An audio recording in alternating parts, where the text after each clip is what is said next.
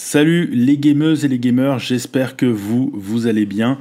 Euh, le premier mois de vacances est bientôt terminé et euh, il n'y a pas eu de JT la semaine dernière, donc je me suis dit que j'allais finir euh, ce mois-ci en beauté en vous faisant un résumé de tout ce qui était sorti. J'avais commencé mon enregistrement ce mardi.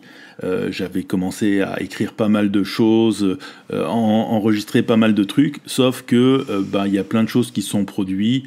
comme on part en vacances, il fallait aussi faire les vaccins, les choses comme ça. Donc j'ai pris pas mal de retard et au final on est vendredi au moment où je termine ce montage. Du coup j'ai refait l'intro tout simplement pour vous expliquer que vous allez voir dans l'épisode, j'ai essayé de camoufler ça avec la magie du montage mais euh, en termes de son, il y a des moments où vous allez entendre une petite différence. C'est tout simplement parce que je me suis dit, euh, j'allais pas limiter cet épisode juste sur 15 jours, j'allais faire 3 semaines. Hein. Euh, tout ce qui est arrivé, tout ce qui est sorti cette semaine, je vais aussi vous en parler. comme ça, ben, la semaine prochaine, il n'y aura pas de JT. Je suis en vacances, je pense que j'aurai pas le temps de le faire. Peut-être que j'aurai la possibilité de vous sortir un épisode sur autre chose. Mais voilà, du coup, ceci étant dit, euh, ben vous allez voir, hein, juste au niveau des sorties, au début je vais vous parler de 13 titres, excusez-moi, j'ai ma langue qui a ripé. Donc comme je vous disais au début, je vais vous parler de 13 titres, et en fait il y en a 18. Donc voilà, c'est les raccords et les retouches que j'ai fait. Sur ce, je me tais, je suis le Crash Test Meeple, et on envoie ce numéro.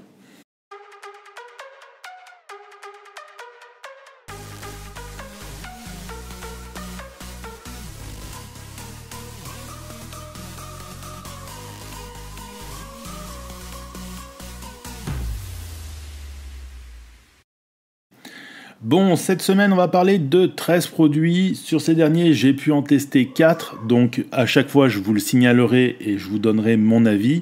Euh, quant aux autres, eh ben, vous commencez à me connaître, hein. je vous donnerai quand même mon avis dessus, même si je ne les ai pas testés, et je vous inviterai en commentaire à dire si vous pensez que j'ai tort ou raison. Bon, on a une série euh, de euh, d'extensions qui sont arrivées, ça c'est plutôt intéressant parce que ça va nous permettre de ressortir certains de nos vieux jeux et on va commencer avec Mathias Kramer et son fameux Glenmore 2 Chronicle qui est arrivé en français grâce à l'éditeur Super Meeple. Euh, le jeu était passé par une campagne de financement participative et son extension aussi, et ça tombe bien parce que cette dernière, Island Games, vient tout juste d'arriver en boutique.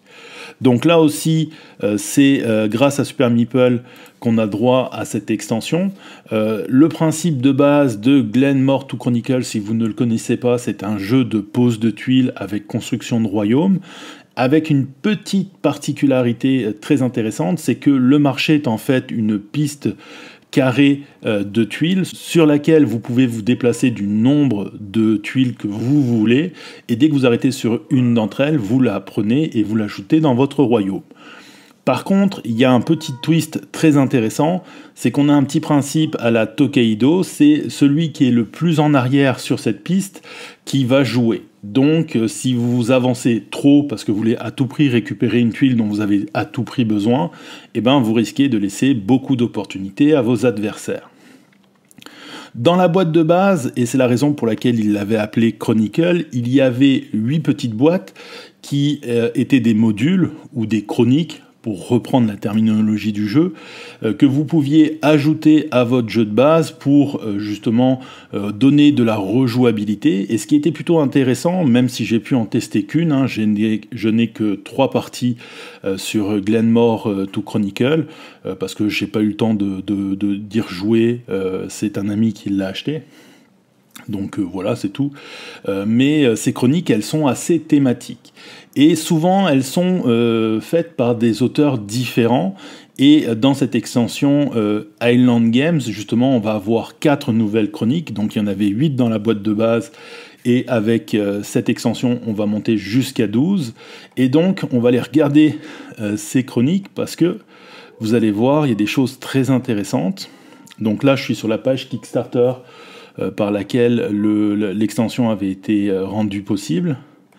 Donc tout en bas, voilà, première chronique, c'est réalisé par Automa Factory et donc vous vous en doutez, c'est un mode solo. Et ça c'est plutôt bien parce que Automa Factory, c'est une équipe qui habituellement travaille avec des éditeurs comme Stone Meyer Games, donc il y a une certaine certification d'avoir un automa très intéressant. Ensuite, euh, la deuxième chronique va venir ajouter un espèce de nouveau scoring qui va vous demander de réaliser des festivités. Euh, elle est réalisée euh, par Rudinger Dorn, qui est un auteur, comme vous pouvez le voir, qui a signé pas mal de titres chez Queen's Games, dont Luxor et Istanbul. Et euh, en fait, donc comme je disais, c'est du scoring euh, euh, supplémentaire, faut faire la fête et tout.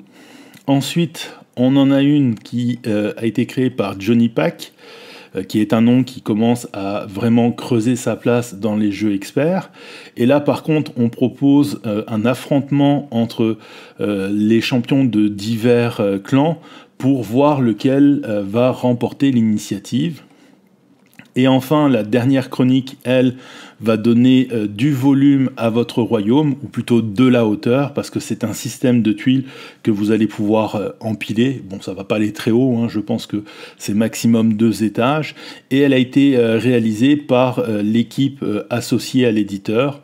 Donc voilà, quatre nouvelles chroniques, un mode solo c'est plutôt très intéressant. Surtout que euh, beaucoup de monde était intéressé à la base par euh, Glenmore to Chronicle, mais n'osait pas aller l'acheter parce que il euh, n'y avait pas de mode solo. Là, c'est résolu. Par contre, faites attention, ça risque de vous coûter cher. Hein. Le jeu de base, il est, selon les boutiques que vous allez regarder, il peut être entre 60 et 70 et euh, les, euh, cette extension, elle est euh, autour des 35 euros en boutique. par contre, je ne sais pas pourquoi, elle est plus chère chez Philibert, elle est à 40 euros et plus. je ne sais pas, il y a un truc très bizarre là-dessus. pour les autres informations, c'est un jeu donc maintenant qui est, grâce à cette extension, jouable de 1 à 4 joueurs de 12 ans et plus, et des parties qui sont compris entre 60 et 120 minutes. On va parler maintenant d'une extension euh, pour un jeu euh, d'escape game et de résolution euh, d'énigmes qui s'appelle Mystery House. c'est proposé par l'auteur Antonio Tinto. Donc, qu'est-ce que c'est Mystery House? C'est un jeu où vous allez jouer avec une espèce de grosse boîte en carton euh, qui a des fenêtres sur les côtés et des encoches sur le dessus. Euh, il y a des paquets scénarios qui sont des cartes que vous allez venir glisser à différents endroits dans les encoches et l'objectif c'est que vous manipuliez la boîte en regardant à travers les fenêtres pour voir les différentes pièces qui s'offrent à vous, trouver des indices sur certaines cartes pour aller résoudre des énigmes sur d'autres cartes et pouvoir ainsi les retirer pour dévoiler de nouvelles pièces. Donc jusqu'à présent, il y avait deux scénarios euh, qui tournaient autour de la fantasy euh, dans la première boîte. Ensuite, on a eu un scénario western. Et maintenant, l'auteur revient avec cette extension perdue dans l'espace pour faire le tour de la boucle et nous proposer un épisode tout simplement dans la science-fiction. Donc là, on a un jeu qui est pour 1 à 5 joueurs de 12 ans et plus, des parties qui tournent autour des 60 minutes et un prix boutique qui normalement devrait être entre 12 ou 15 euros. Et bien sûr, tout ça euh, est rendu disponible en français grâce à Gigamic. On va poursuivre avec une extension qui était plutôt très attendue. Elle est pour le jeu Mystic Vile de euh, John DeClaire. Euh, si vous ne connaissez pas ce jeu, il s'agit d'un euh, deck building avec du card euh, crafting. Excusez-moi, j'ai failli déraper. Donc du card crafting. Et oui, vous avez bien compris. Vous allez construire dans ce jeu vos propres cartes avec un ingénieux système de sleeves et de cartes transparentes. Euh, et euh, maintenant, on a une extension qui vient rajouter euh, beaucoup de matériel à la boîte de base, quelques petites nouvelles mécaniques, mais d'après ce que j'ai pu lire sur les internets, ce qui est surtout très intéressant, c'est qu'elle vient amener des héros, comme vous pouvez le voir ici, qui donnent au jeu une légère symétrie, hein, parce que c'est du deck building d'affrontement. Et ces héros, je pense que vous pouvez aussi les crafter. Donc voilà, hein, une extension pour les aficionados de Mystic Vile. C'est un jeu qui est pour 2 à 4 joueurs, toujours pas de mode solo, à partir de 14 ans et des parties qui tournent autour de 45 minutes. On devrait avoir un prix boutique qui normalement devrait être autour des 30 euros. Donc voilà, passons maintenant à Fantasy Fly Game qui va nous proposer deux extensions. La première, je pense aussi qu'elle était très attendue, c'est le fameux euh, Cooperative Upgrade Pack, donc euh, le, paquet qui va permettre de rendre le jeu de base coopératif, parce que oui, il ne l'était pas, et c'était souvent un reproche qui lui était fait, parce qu'à l'intérieur, il y a un semi-coop, euh, dans le sens qu'il euh, n'y aura qu'un seul vainqueur, mais que pour euh, justement arriver à remporter la partie, vous êtes quasiment obligé de devoir coopérer avec vos adversaires. Et ça, plusieurs influenceurs n'appréciaient pas trop ce principe-là. Moi, j'avoue que je trouvais que ça faisait son charme euh, au jeu, et donc euh, j'ai acheté cette extension pour voir ce que donnerait le mode coopératif. Euh, c'est intéressant, dans le sens que oui, il n'y a plus besoin de, faire de, la compétition sur les différents objectifs. L'extension va vous obliger à choisir un camp, ce que vous ne faisiez pas dans le jeu de base. Donc ça, c'est un petit peu dommage, parce que justement, c'était assez rigolo de euh, faire, euh, parce qu'il y a une, espèce de piste, vous aviez une carte comme ça, vous mettiez les jetons des deux factions, et y a, certaines personnes avaient une euh, certaine euh, tendance à vouloir faire progresser une faction plus que d'autres parce que ça leur ramenait plus de points. Et donc il y avait ce petit euh, jeu qui était assez rigolo. Bon bah tout ça ça a été retiré. Maintenant on a donc ces fameuses cartes scénario qui vous obligent à choisir un camp, qui vous imposent des conditions de victoire. par contre, moi ce que je trouve intéressant ici, c'est que elle va vous amener jusqu'à la fin du cycle de, de l'histoire, ce que ne faisait pas la version de base. C'est-à-dire que dans la version de base, dès qu'un joueur euh, avait atteint euh, un certain nombre de points, on mettait fin à la partie, il l'a remporté. Là, par contre, effectivement, on va voir la fin de l'histoire et c'est plutôt cool. Il y a d'autres idées assez sympas. Euh, donc, vous, allez voir, l'extension, elle rajoute beaucoup de matériel. Alors, ça, c'est un petit peu dommage parce que déjà, à la base, Fallout, c'était un jeu où il y avait beaucoup de matos. Là, il y en a encore plus.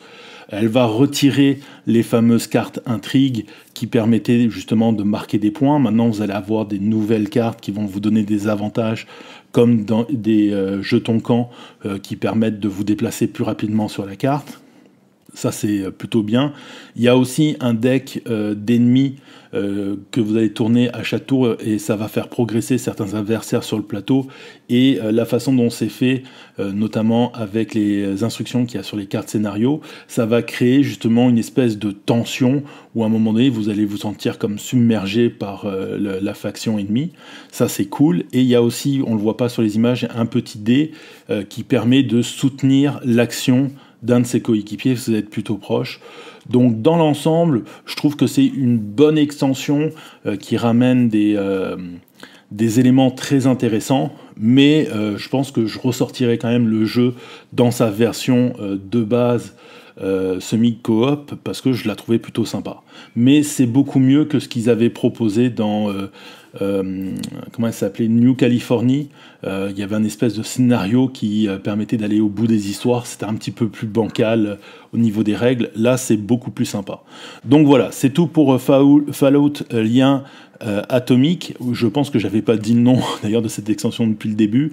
donc le jeu de base, il est pour 1 à 4 joueurs. Les parties sont plutôt longues, c'est entre 120 et 180 minutes.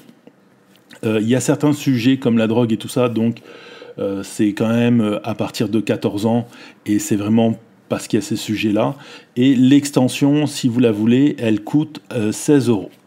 Ensuite, on a eu un nouveau Hero Pack qui est arrivé pour Marvel Champion et j'ai vu sur la toile que ce dernier avait soulevé plusieurs déceptions parce qu'il s'agit peut-être de l'un des anti-héros les plus populaires de l'univers de Marvel, à savoir Venom, hein, l'autre étant euh, le Punisher, et tout le monde s'attendait à sa version la plus connue, parce que bon, ça c'est un truc qu'il faut comprendre avec Marvel, il y a un truc qui rend euh, leur univers un petit peu compliqué, c'est que si vous prenez un nom de super-héros comme par exemple Spider-Man, et eh ben ce dernier a été décliné en plusieurs plusieurs personnages. Donc par exemple, vous avez Spider-Man, Spider-Woman, Spider-Girl, mais aussi sur un même costume, il peut y avoir plusieurs alter ego.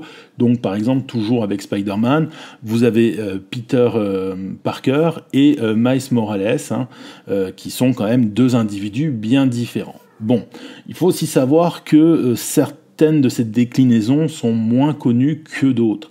Et euh, dans le cas de Venom, euh, le choix ici de Flash Gordon semble soulever pas mal de questions parce que peu de monde savent qui il est, en dehors du fait que c'était un ancien ami de Peter Parker et on est plus habitué à avoir sous le costume de Venom, ou je ne sais pas si on peut vraiment dire que c'est un costume, sous le symbiote de Venom, euh, Eddie Brock, hein, euh, parce que c'est euh, lui qu'on retrouve dans tout l'univers cinématographique autour de ce personnage, même dans Spider-Man 3.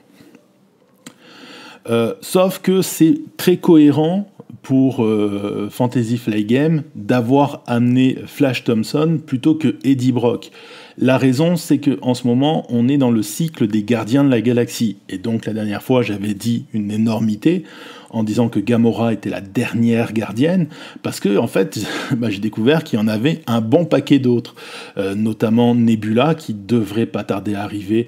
On va en parler euh, dans les news et euh, notre ami Venom sous le l'alter ego de Flash Thompson. Donc c'est pour ça que c'est lui qu'on a, parce que c'est un gardien de la galaxie, et je peux comprendre que euh, sa vision, euh, ou dire sa, la façon dont euh, il fonctionne avec le symbiote puisse choquer plusieurs personnes.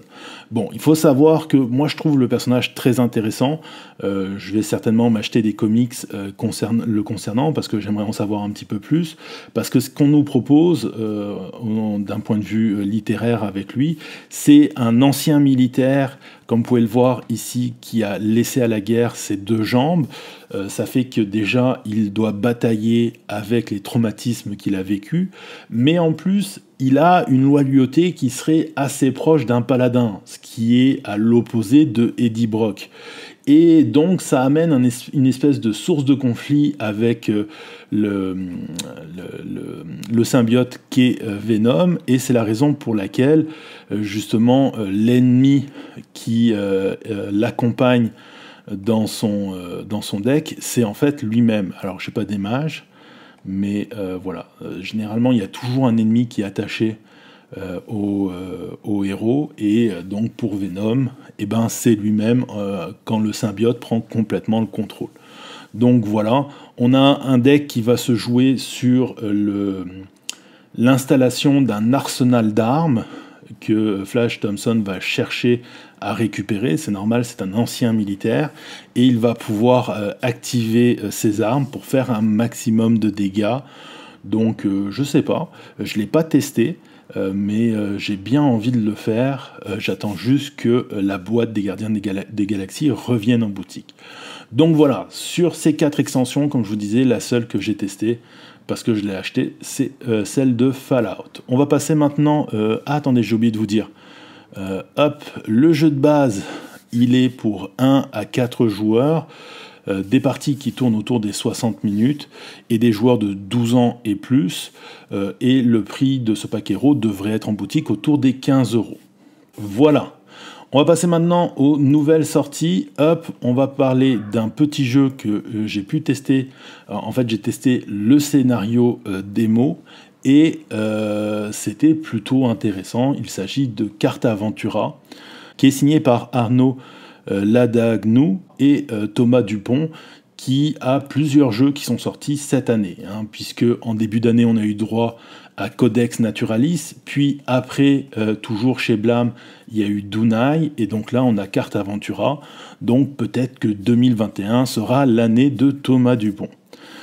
c'est un jeu qui est pour 1 à 6 joueurs de 10 ans et plus, des parties qui tournent autour des 60 minutes et un prix boutique qui est euh, de 12 euros. C'est des petits paquets avec à l'intérieur 70 cartes et il s'agit en fait d'un jeu d'aventure euh, qui fonctionne un petit peu comme un livre dont vous êtes le héros, c'est-à-dire que euh, vous allez d'abord avoir les premières cartes qui vont vous expliquer les règles et ensuite vous allez suivre les instructions, poser des cartes devant vous. certaines cartes, alors je ne sais pas si on les voit, oui voilà, vous avez des cartes qui sont des lieux.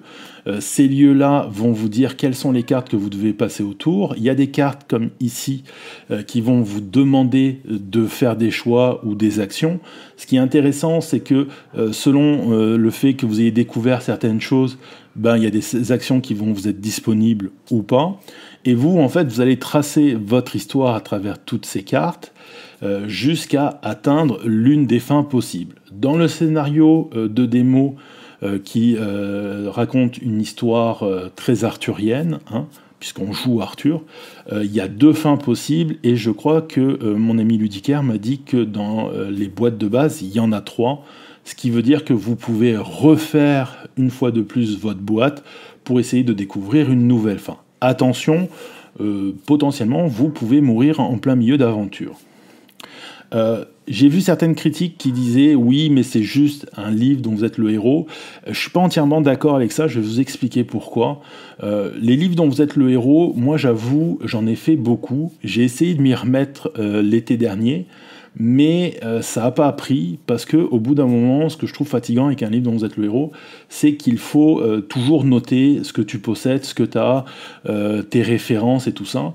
Ici, ce qui est intéressant, c'est qu'avec le fait que c'est sous un système de cartes, déjà, ben, on a des illustrations qui sont superbes, mais en plus, je trouve qu'en termes de gestion, c'est plus facile de savoir si tu possèdes ou pas tel objet. Donc, pour moi, c'est ça c'est légèrement différent, même s'il y a des ressemblances, à cause du fait que euh, ici on est beaucoup plus visuel. Et euh, alors, par contre, je sais pas si dans la, la boîte de base, euh, je dirais dans la boîte de dans les boîtes, dans les boîtes aventures, si les dessins sur les cartes vont vous amener à, à, résoudre certaines énigmes. C'était pas dans le scénario de base, mais en tout cas, moi, je me suis bien éclaté. Alors oui, j'ai pas acheté de boîte, tout simplement parce que j'ai un ami qui, lui, l'a fait et je sais que je vais aller faire les aventures avec lui. Donc euh, voilà, c'est la seule raison. Euh, autre petit argument de vente que j'ai trouvé très intéressant, les deux auteurs expliquent, et je pense aussi que le chef de Blâme en parlait sur la chaîne de Un monde de jeu, ils ont voulu être très historiques, donc ils se sont fait encadrer par des gens qui connaissaient les histoires qu'ils essayaient de vous raconter. Donc la première boîte, c'est euh, Vidland, ça parle de l'explorateur Éric le Rouge, euh, qui était un viking.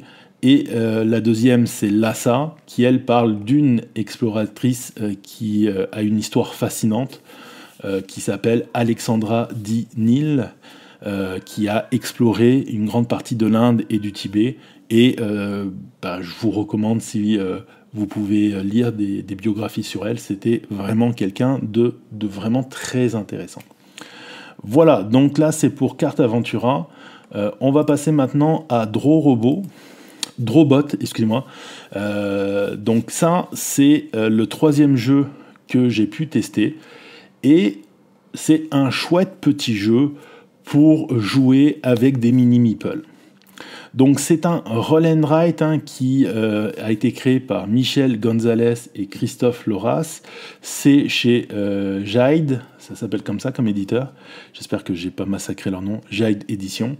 Et en fait, euh, vous allez, vous êtes le propriétaire d'une fabrique de robots et vous allez chercher à répondre aux demandes de certains de, certaines demandes de clients et ces demandes vont être symbolisées par l'association de deux cartes, comme vous pouvez le voir ici. Il faut savoir qu'en permanence, il y a toujours deux demandes qui sont visibles euh, pour tous les joueurs autour de la table, plus euh, chaque joueur a sa propre demande. Et l'idée, c'est que vous allez lancer ces dés. Il y a un chef opérateur qui va pouvoir choisir euh, l'un des dés et il n'y a que lui qui pourra l'utiliser. Et les autres joueurs vont devoir se contenter des phases qu'il va leur laisser. Il y a deux faces très rigolotes sur chaque dé.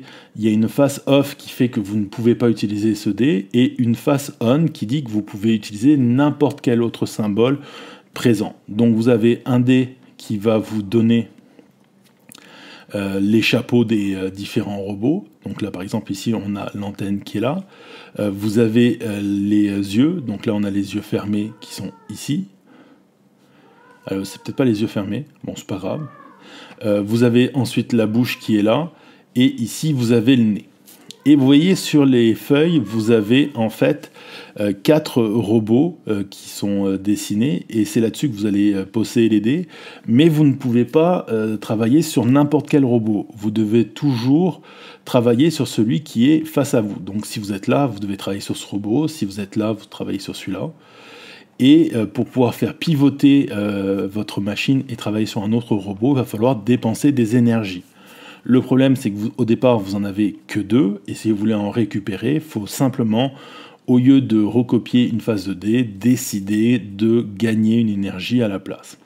Donc là, on a un petit système qui est euh, assez cool. En plus, les énergies, vous pouvez les dépenser pour euh, obtenir une phase on donc dessinez ce que vous voulez, il y a un peu de réflexion. C'est pas très compliqué à expliquer en termes de règles à des mini-meeples. Euh, il y a euh, des scorings qui vont être, donc si vous réalisez une commande de client, c'est 3 points. Si vous dessinez juste un robot, c'est 1 point. Et euh, si votre robot est complètement différent de celui qui est à côté, c'est encore un point. Donc c'est plutôt cool, euh, ça se réfléchit tranquillement avec les enfants et potentiellement c'est dessiner des robots, donc c'est quelque chose qui peut les intéresser. Euh, le jeu il est en boutique pour un prix qui tourne autour des 20 euros. Il est de 3 à 5 joueurs de 8 ans et moins et euh, des durées de partie qui tournent autour des 30 minutes. Voilà, donc c'était pour Draw Robot. On va passer maintenant à un autre petit jeu. Lui, je ne l'ai pas testé. J'en avais envie, mais j'avais plus le temps. Euh, c'est Gacha. Alors Gacha, c'est les espèces de machines à boules euh, que vous voyez souvent euh, dans, les vidéos de Ici Japon, de TFTV, quand il va dans des centres commerciaux, même si lui est pas très fan, c'est des espèces de, de, machines où vous mettez des pièces et vous tournez la molette et il y a une boule qui sort avec à l'intérieur une surprise. Vous pouvez aussi en trouver d'ailleurs dans nos supermarchés à nous. ça a juste l'air moins fun et plus sympa au Japon. Et eh ben maintenant, Gacha, c'est aussi un jeu que vous pouvez euh, trouver chez euh, Banquise Édition. Il est de Jason Levin et fait très intéressant. On a deux euh, gros noms de l'illustration euh, qui sont associés à ce jeu. Il y a tout d'abord Madame Christine Alcouf, euh, qui a notamment fait Paper Tales et qui a un style graphique vraiment très cool, et Monsieur Miguel Coimbra, qui lui a tout un nombre de jeux incroyables qu'il a illustrés. Donc voilà, ça prenait deux gros illustrateurs et illustratrices pour faire un jeu aussi kawaii. L'idée ici, elle est très simple. À votre tour, vous avez deux actions possibles, vous en faites qu'une seule.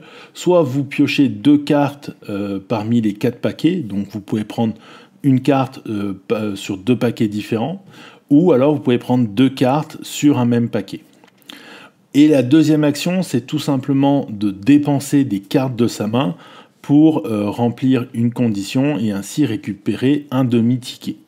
L'idée, c'est que dès que vous avez récupéré deux tickets, eh ben, vous allez pouvoir euh, récupérer un jeton bonus. Quand il n'y a plus de jetons bonus, on met fin à la partie et c'est celui qui a marqué le plus de points qui euh, va la remporter. Alors vous voyez les tickets, ils ont des couleurs différentes. C'est tout simplement parce que si vous arrivez à réunir deux tickets de la même couleur, en plus de récupérer un jeton, vous allez pouvoir piocher une carte. Voilà, c'est un petit jeu qui est plutôt malin, plutôt rapide. Il y a un petit côté euh, salade de points parce que vous voyez sur le dos des cartes, euh, vous avez des probabilités de ce que vous allez retrouver de l'autre côté. Donc là, par exemple, on vous dit derrière cette carte, il y a soit un porte-clés sushi, soit une Magic Girl. Euh, et donc, par exemple, si vous avez besoin d'un robot, vous allez avoir tendance à piocher soit ici, soit ici, voire ici et ici. voilà, tout simplement. Euh, donc voilà, il y a un petit côté salade de points. Euh, j'aimerais vraiment le tester pour voir euh, au niveau sensation à quel point les deux jeux sont différents. Mais voilà, ça fait un petit jeu de cartes sympa pour l'été. C'est de 2 à 6 joueurs. C'est des joueurs de 7 ans et plus, des parties qui tournent autour des 30 minutes et un prix boutique qui ne devrait pas dépasser les 15 euros, si je dis pas de bêtises.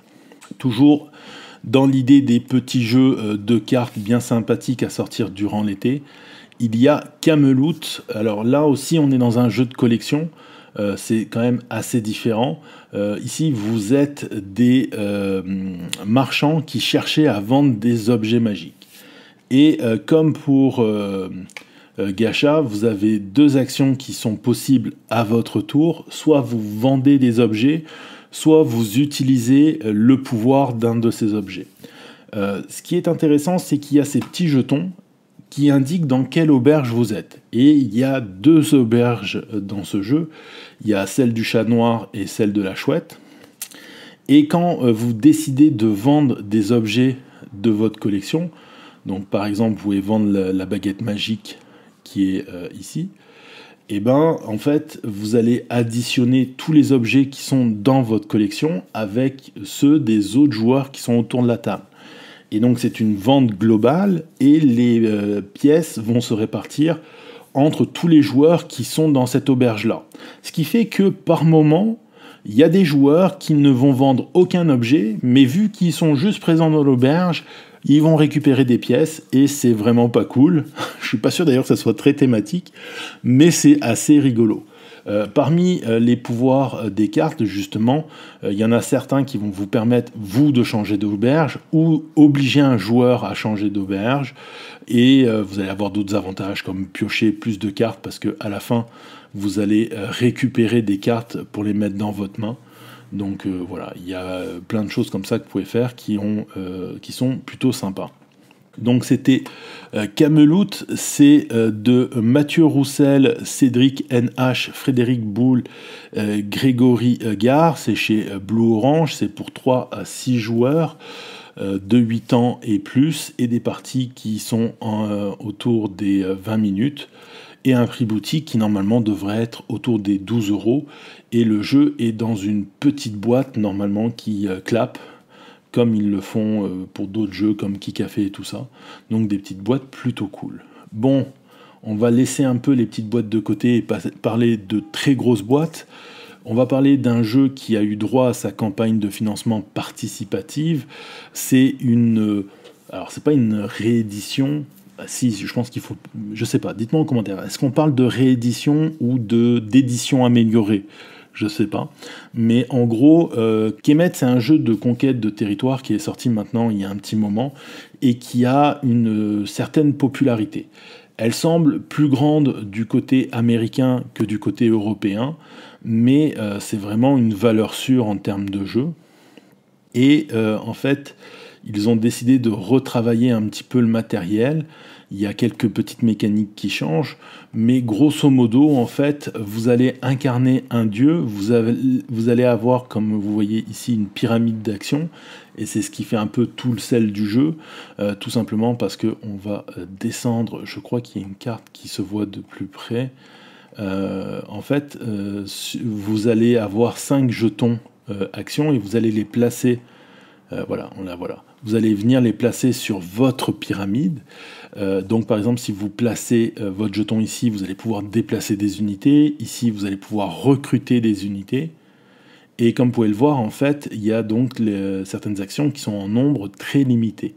Ici, c'est pouvoir récupérer des tuiles euh, de, de faveur qui vont vous donner des avantages un peu plus bas. Et là, c'est tout simplement gagner des points de prière, et c'est très important pour acheter justement ces fameuses euh, tuiles faveur. Et euh, l'idée, c'est que à la fin euh, de la manche, vous allez devoir avoir posé au minimum un jeton sur chaque étage. Donc, il faut vraiment bien que vous calculiez vos, vos, déplacements. Il y a des actions qui vont vous permettre de construire votre pyramide. Donc, normalement, il y a quatre étages. Ça aussi, ça va vous donner euh, certains avantages. Alors, vous voyez la, pyramide, comment elle se construit. Hop. Et euh, vous allez pouvoir aussi gagner des créatures qui vont venir vous aider, tout ça. Donc, euh, j'expliquerai pas plus les règles. Il y a des, plein de vidéos qui le font déjà. je pense que c'est les deux pions qui explique justement cette nouvelle version. C'est après dans, l'ensemble ça reste de la conquête de territoire assez classique sauf qu'ici à l'inverse d'un risque il n'y a pas de dés pour les fights en fait vous allez utiliser des espèces de, cartes un peu comme dans Steam Watcher c'est à dire que vous allez jouer face cachée et vous allez additionner euh, les avantages que vous donne ce carte avec le nombre d'unités que vous avez pour voir si vous battez ou pas votre adversaire. Donc voilà, c'est un jeu qui euh, est quand même très intéressant.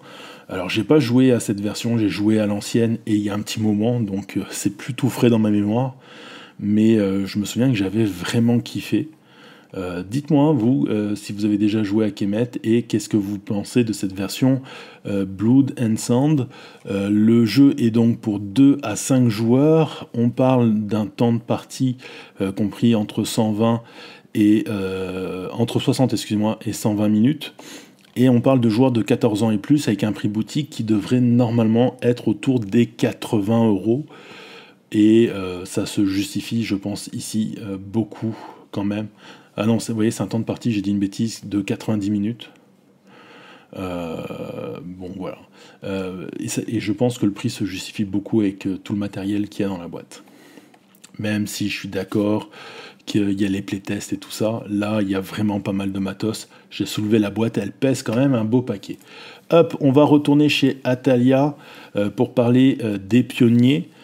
voici un petit jeu que j'ai vraiment envie de tester. Et j'ai un peu l'impression euh, qu'il est un peu passé comme ça sous le radar, parce que j'ai pas vu énormément de vidéos qui en parlaient. Euh, mais il a l'air vraiment cool. Alors, c'est un jeu de. Euh, bah, c'est pas du placement de dés, mais c'est de l'utilisation de dés. C'est-à-dire que vous allez avoir des dés qui vont vous donner des possibilités. Donc, vous allez incarner un pionnier. Le jeu vous permet d'utiliser ce pionnier soit sur sa face euh, standard, soit sur sa face euh, asymétrique, avec un petit pouvoir particulier.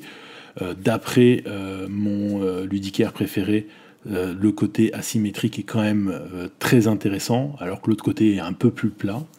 Vous allez avoir au début un chariot et ça, c'est très important. Il va falloir vous en récupériez d'autres dans la partie parce que, en fait, dans ce jeu, vous allez euh, venir gagner des ressources, des améliorations et euh, bah, il faut des places euh, dans les chariots pour pouvoir les stocker. Sinon, ben, vous n'allez pas pouvoir les garder.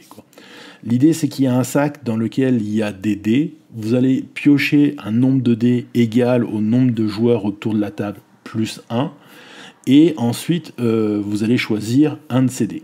Le dé, vous pouvez l'utiliser euh, pour euh, l'icône qui y a dessus, et dans ce cas-là, ça va vous donner euh, soit la possibilité d'acheter une amélioration, soit des bœufs, soit des ressources, ou encore la petite pioche ici vous permet d'aller récupérer des pépites dans le sac, hein, c'est des points pour la fin de partie. Donc ça c'est quand vous utilisez l'icône, soit vous utilisez le dé pour récupérer l'argent, alors vous regardez sur quelle icône il se, il, à quelle icône il correspond et le chiffre qui est au-dessus, c'est le nombre d'argent que vous pouvez gagner. Ou vous pouvez l'utiliser de la même façon, mais pour acheter euh, des pionniers hein, qui vont être juste en dessous du plateau. Et ces pionniers vont vous donner des avantages soit euh, tout de suite, soit en fin de partie. Voilà. Et euh, là où ça devient intéressant, c'est que une fois que tous les joueurs ont choisi leur dé, il y en a un qui va rester et si c'est pas le noir, il va tout simplement faire avancer le jeton euh, à sa couleur sur la piste de calamité. Et si le jeton arrive au bout, il se passe un événement que vous devez résoudre. Et si c'est le dé noir, eh ben c'est tous les jetons qui avancent. Donc il faut vraiment éviter de laisser le, dé noir traîner, surtout si vous n'êtes pas prêt à faire face à certaines calamités. Le jeu va se découper en quatre euh, manches. Chaque manche représente une semaine de 5 jours. Ne me demandez pas pourquoi 5 jours, c'est comme ça. Et en fait, les quatre premiers jours, vous allez euh, piocher des dés et les utiliser. Et le cinquième jour, vous allez arriver en ville et là, vous allez pouvoir scorer des points. Donc voilà, un petit jeu qui a l'air vraiment plutôt sympathique. Euh, il est designé par euh, Matthew Dustan et euh, Chris Marling. C'est arrivé en français par Silex et Atalia. C'est pour 2 à 4 joueurs. de 10 ans et plus, je crois, et des parties qui tournent autour des 45 minutes. Et comme vous pouvez le voir, on a un prix boutique qui est autour des 45 euros. Voilà, allez, à partir de là, il reste deux jeux à parler. Le premier, euh, et ces deux jeux sont euh, surtout euh, des jeux familiaux à jouer avec des mini-meeples. le premier, il est chez Ludonote, il est signé par Christophe Rimbaud et c'est Star Clicker. Alors, il s'agit d'un jeu coopératif et vous devez savoir quelque chose de, particulier, c'est que on est chez Ludonote, donc on est un jeu avec une thématique qui ne peut pas s'expliquer comme ça en trois secondes. Ça, c'est la particularité de Ludonote. Ici, en fait, il faut que vous imaginiez que vous jouez le rôle d'un enfant qui habite sur une planète qui va se faire attaquer par des extraterrestres. Sauf que le problème, c'est que ces extraterrestres, ils ont joué les petits malins. Ils ont fait croire aux parents qui euh, devaient normalement protéger la planète qu'ils étaient à un autre point de l'univers et donc les parents ils sont allés pour aller les combattre alors que eux en fait ils étaient cachés juste à côté de la planète voisine. Hein. Donc ils se sont ramenés en disant ah ah ah les euh, combattants sont partis, on va pouvoir aller détruire cette planète qui n'a que 4 boucliers, hein, et si jamais ils arrivent à les détruire, eh ben c'est game over. Manque de bol pour eux, les enfants des héros qui défendent la planète Terre se sont dit on va faire comme nos parents, sauter euh, dans leur vaisseau et appuyer sur tout plein de boutons pour euh, détruire l'envahisseur. Et voilà, ça c'est Star Clicker. Donc vous allez vous retrouver avec devant vous une console comme celle-ci, le jeu va se découper en différentes manches. Hein. Il y a autant de manches qu'il vous faudra en passer euh, jusqu'à ce que soit vous ayez remporté la partie, soit les extraterrestres aient détruit la planète. Et chaque manche va se découper en deux phases. La phase des héros, et la phase euh, des extraterrestres. Pendant la phase des héros, dans l'ordre que vous voulez, vous pouvez même euh, euh, faire un début et laisser, parce qu'en fait vous allez faire deux actions. Vous pouvez faire une action, puis laisser les autres et finir par une autre action. C'est vous qui, qui voyez, c'est vous discutez entre vous. Mais l'idée c'est que vos deux actions, c'est tout simplement vous allez appuyer sur deux boutons. Le problème c'est qu'au début vous ne savez pas à quoi correspondent ces boutons. Donc inévitablement, euh, bah, vous allez appuyer au hasard. Vous pouvez voir en fait que les boutons sont euh, réunis par triplette et que au centre de chaque euh, triplette, on vous dit ce que vous risquez de trouver normalement comme commande sur ce tableau de bord. Donc, il y a trois types de commandes, je vais vous en expliquer deux, je vous laisserai découvrir la troisième. Parce que bah, voilà, je vous laisserai la découvrir pour qu'il y ait un peu de suspense. Il y a tout d'abord les commandes de déplacement. Euh, celles-ci sont assez rigolotes puisque euh, quand vous trouvez un déplacement, vous vous déplacez vers un autre joueur. Donc par exemple, si vous trouvez la flèche bleue, vous allez vous déplacer dans cette direction. Si vous trouvez la flèche rose, vous allez vous déplacer vers le joueur rose, donc sur le côté. Donc vous allez vraiment devoir gérer ces choses-là. C'est la même chose aussi pour la deuxième action qui est tirer vous tirez toujours en direction d'un autre joueur. Ce qui peut être très problématique, c'est que dès que vous trouvez un bouton tirer, vous tirez. S'il y a un alien, c'est cool. S'il n'y a rien, bon bah tant mieux. Par contre, s'il y a un bouclier de la planète, eh ben vous le détruisez. Et du coup, euh, vous êtes un traite à votre nation. Euh, voilà. L'idée, c'est que quand vous allez vous déplacer, vous allez retourner des tuiles qui sont sur le plateau. Euh, vous devez trouver les huit brouilleurs que les extraterrestres ont planqués et les détruire. Là aussi, un petit truc que jeu vous propose qui est assez intéressant, c'est que lorsque vous détruisez un ennemi, en fait, vous flippez son jeton et il devient une énergie. Et cette énergie, vous allez devoir euh, la garder parce que c'est elle qui va vous permettre de détruire les brouilleurs ennemis. Et euh, une fois que vous avez détruit ces huit brouilleurs, vous allez pouvoir appeler vos parents qui vont vous venir vous donner un sérieux coup de main. Durant la phase ennemie, vous allez résoudre l'une de ces disquettes. Hein. Euh, il y a dans un premier temps euh, des événements qui vont vous embêter, qui vont se produire. Puis ensuite, il y a des chiffres qui annoncent soit les vaisseaux qui vont bouger, soit là où vont arriver de nouveaux vaisseaux. Voilà, hein, donc euh, assez rapidement, vous allez avoir euh, une sensation de d'envahissement, hein, c'est le but. Et euh, vous avez un jeu, alors je sais pas quoi vous en dire. Sur le papier, ça peut être sympa, je ne l'ai pas testé. Euh, s'il y en a parmi vous qui l'ont testé, euh, j'aimerais bien avoir vos retours, parce que très honnêtement, hein, sur le papier ça a l'air bien, mais ça a aussi l'air un petit peu casse-gueule. Ça peut être le genre de jeu, parce qu'il y a vraiment un matériel assez, euh, assez joli, il faut le dire, mais ça peut être juste un beau jeu, et pas forcément un bon jeu. Donc voilà, si vous l'avez testé, j'attends vos retours dans les commentaires. On va terminer avec le dernier jeu que... Ah, attendez, j'ai oublié de vous dire. Euh, c'est euh, pour 2 à 4 joueurs de 8 ans et plus, des parties qui tournent autour des 40 minutes, et il y a un prix boutique qui normalement devrait être autour des 32 euros. Bon, le dernier jeu qu'on va voir aujourd'hui, euh, il est tiré d'un film d'animation qui s'appelle Le Peuple Loup en français. Donc là, je suis sur la page en anglais parce que l'éditeur de ce jeu est anglais. Lui, j'ai pu le tester et très honnêtement, euh, ce jeu qui est euh, signé par le, comment ça s'appelle? Les, par un, groupe d'auteurs qui appartiennent à l'éditeur, donc Valu AD Games. ce jeu-là, au premier abord, il peut paraître très simple et peu intéressant, mais ce n'est pas du tout le cas.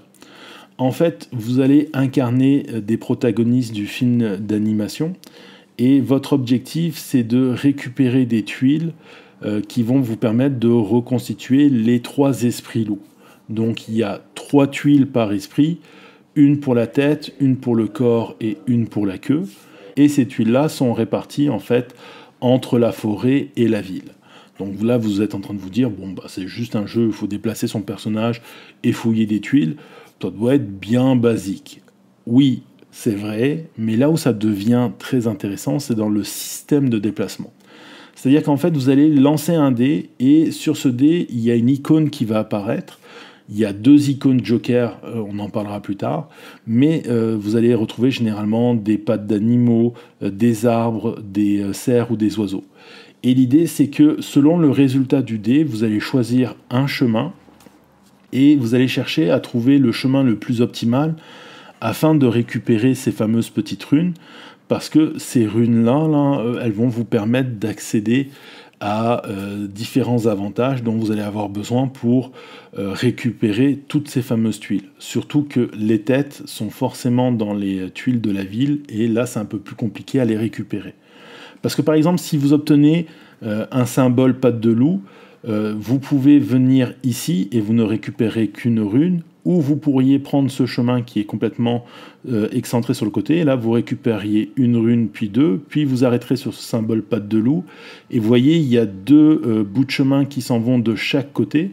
Bah, c'est parce que au début, les symboles sur lesquels vous allez vous arrêter vont vous donner accès à deux piles de tuiles. Mais plus vous montez vers la ville, et plus euh, les chemins vous donnent euh, accès à une seule euh, pile de tuiles, mais en plus au niveau de la ville, il y a des symboles qui vous donnent accès à rien du tout.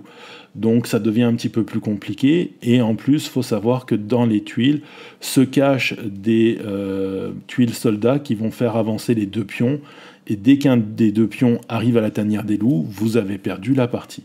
Donc voilà, le jeu vraiment sur cette mécanique de déplacement, va euh, devoir euh, euh, va demander aux enfants de faire appel à leur réflexion et ça c'est très intéressant.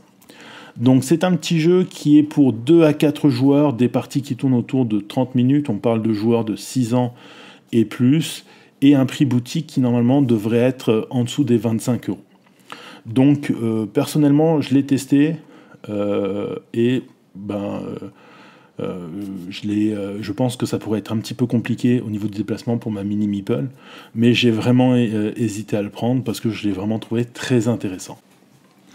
Bon, comme je disais dans mon intro, entre le moment où j'ai commencé à tourner cet épisode et le moment où il, il est sorti, il y a plein d'autres annonces qui sont arrivées, et notamment il y a cinq sorties qui ont été annoncées en boutique. Donc voilà, en gros, au lieu d'avoir euh, deux semaines sur un épisode, vous en aurez trois. Donc on va parler de ces cinq sorties. On va commencer par euh, Amelia, euh, Amelia's Secret, Escape in the Dark. qui est en fait un jeu d'escape game. C'est-à-dire que c'est un jeu où vous allez utiliser du matériel pour résoudre des énigmes et votre objectif en fait c'est de sortir de l'histoire. Donc il y a un petit côté horrifique à cette boîte-là et c'est euh, produit par la XD euh, Team, donc euh, un groupe de designers qui appartient à la maison d'édition XD Productions. c'est une escape game qui a une particularité dans le sens que vous allez placer des, des, cartes à différents endroits de la pièce et vous allez utiliser, comme vous pouvez voir, présentement à l'écran votre euh, smartphone pour faire de la réalité augmentée. Et il y a des énigmes comme par exemple à un moment donné il y a une main qui va jouer avec euh, vous à pierre feuille papier ciseaux. Et vous allez tout simplement devoir retenir euh, la, combinaison pour la battre et l'entrer dans le téléphone. Donc il y a plein de trucs comme ça. Et c'est un jeu qui est à la base pour 1 à 4 joueurs de 12 ans et plus et des parties qui tournent autour des 45 euh, minutes. Donc euh, voilà, vous avez grosso modo 45 minutes, 1 heure pour euh, résoudre cette énigme. Par contre, on est dans du one shot. Donc une fois que vous êtes passé au travers, vous êtes passé au travers et ben, à ce moment-là, vous pouvez partager votre boîte avec quelqu'un d'autre. Je crois que le prix boutique est autour des 20 euros à vérifier en boutique. Euh, on va aller du côté euh, de chez euh, Matago. Il y a une petite extension qui est sortie pour Rapa Nui. c'est une nouvelle gamme qu'ils ont lancée. Ils appellent ça les Game Up. Donc c'est des mini extensions à mini prix. Et on va aller up un peu plus bas. Il y a un article sur Indécent qui montre en fait ce qu'il y a dans cette boîte donc qui s'appelle la guerre des clans. En fait, il y a deux modules. Si mon ordinateur veut bien avancer. Voilà, parfait. Euh, l'article est très intéressant d'ailleurs sur Indécent parce que il vous parle autant du jeu de base que de l'extension. Et euh, on va scroller. Voilà. Vous avez euh, à l'intérieur donc de ce Game Up deux mini modules. le premier, donc celui qui a donné son nom à l'extension La guerre des clans, vient rajouter sept tuiles euh, qui vont vous euh, permettre d'ajouter en fait de, l'opposition entre vous et vos adversaires, un petit peu de chafouin, vous allez pouvoir vous rentrer dedans et même euh, parfois, si j'ai bien compris, aller détruire littéralement les statues que sont en train de construire vos adversaires. La deuxième s'appelle Le signe des grands ancêtres. elle est composée de trois tuiles et d'une statue d'obsidienne. Et celle-ci, elle vient rajouter un petit peu de chaos en fin de partie, euh, justement pour pouvoir peut-être potentiellement relancer la donne. Donc voilà, deux mini-extensions. C'est euh, signé par euh, Fabrice Besson et Guillaume Montiage. donc comme j'ai dit, c'est chez Matago.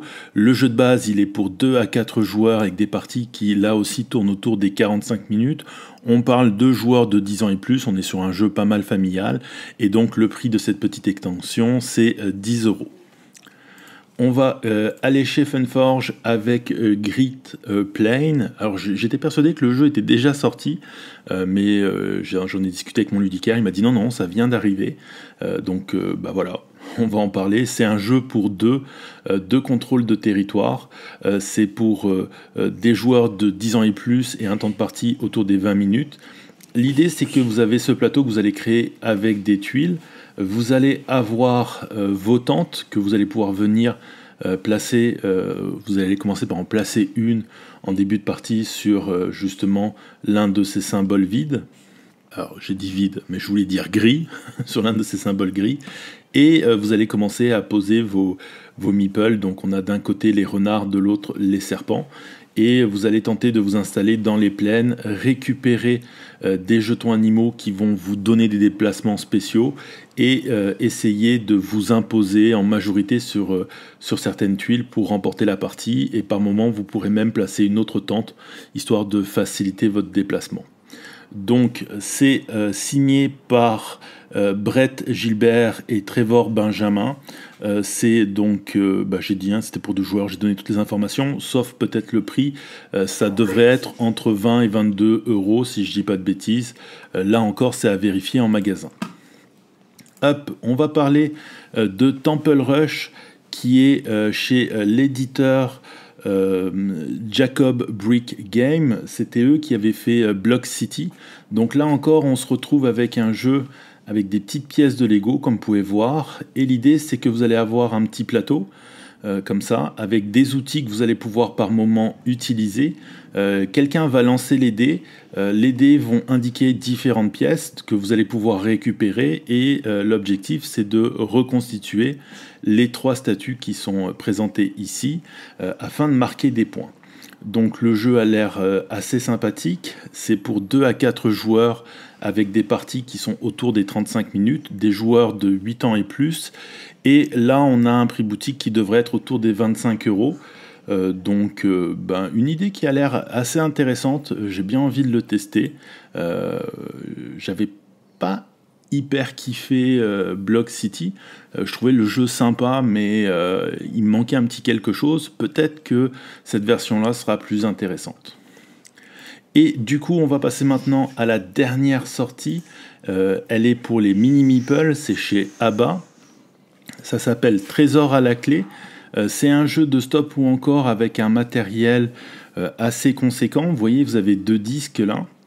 Et euh, ça, c'est pour construire le bas de l'intérieur de la boîte. Et l'idée, c'est que vous allez venir placer des clés. Quand la clé s'enfonce, vous pouvez récupérer des gemmes. Et quand elle s'enfonce pas, eh ben, vous perdez tout. Donc, il y a un peu de mémoire. les mécaniques ont l'air plutôt simples. Mais bon, voilà, un petit jeu abordable assez tôt pour les mini meeples. je trouve ça, moi, plutôt assez sympathique. Euh, c'est pour 2 à 5 joueurs de 5 ans et plus, des parties qui sont autour des 30 minutes. Euh, le, les designers, excusez-moi, c'est Léo Colvini et Teodoro Mitidieri. C'est chez Abba, je vous l'ai dit, et on devrait avoir un prix boutique qui devrait être autour des 22 euros. Euh, même 23. Hein. vous voyez, c'est indiqué ici. Donc voilà, c'était tout pour les sorties. Euh, du coup, je vous propose maintenant euh, qu'on passe à Kickstarter. Et il faut que j'arrête de dire sur Kickstarter et que je dise sur les plateformes de sociofinancement parce que plus ça va aller, plus je vais parler de différentes plateformes.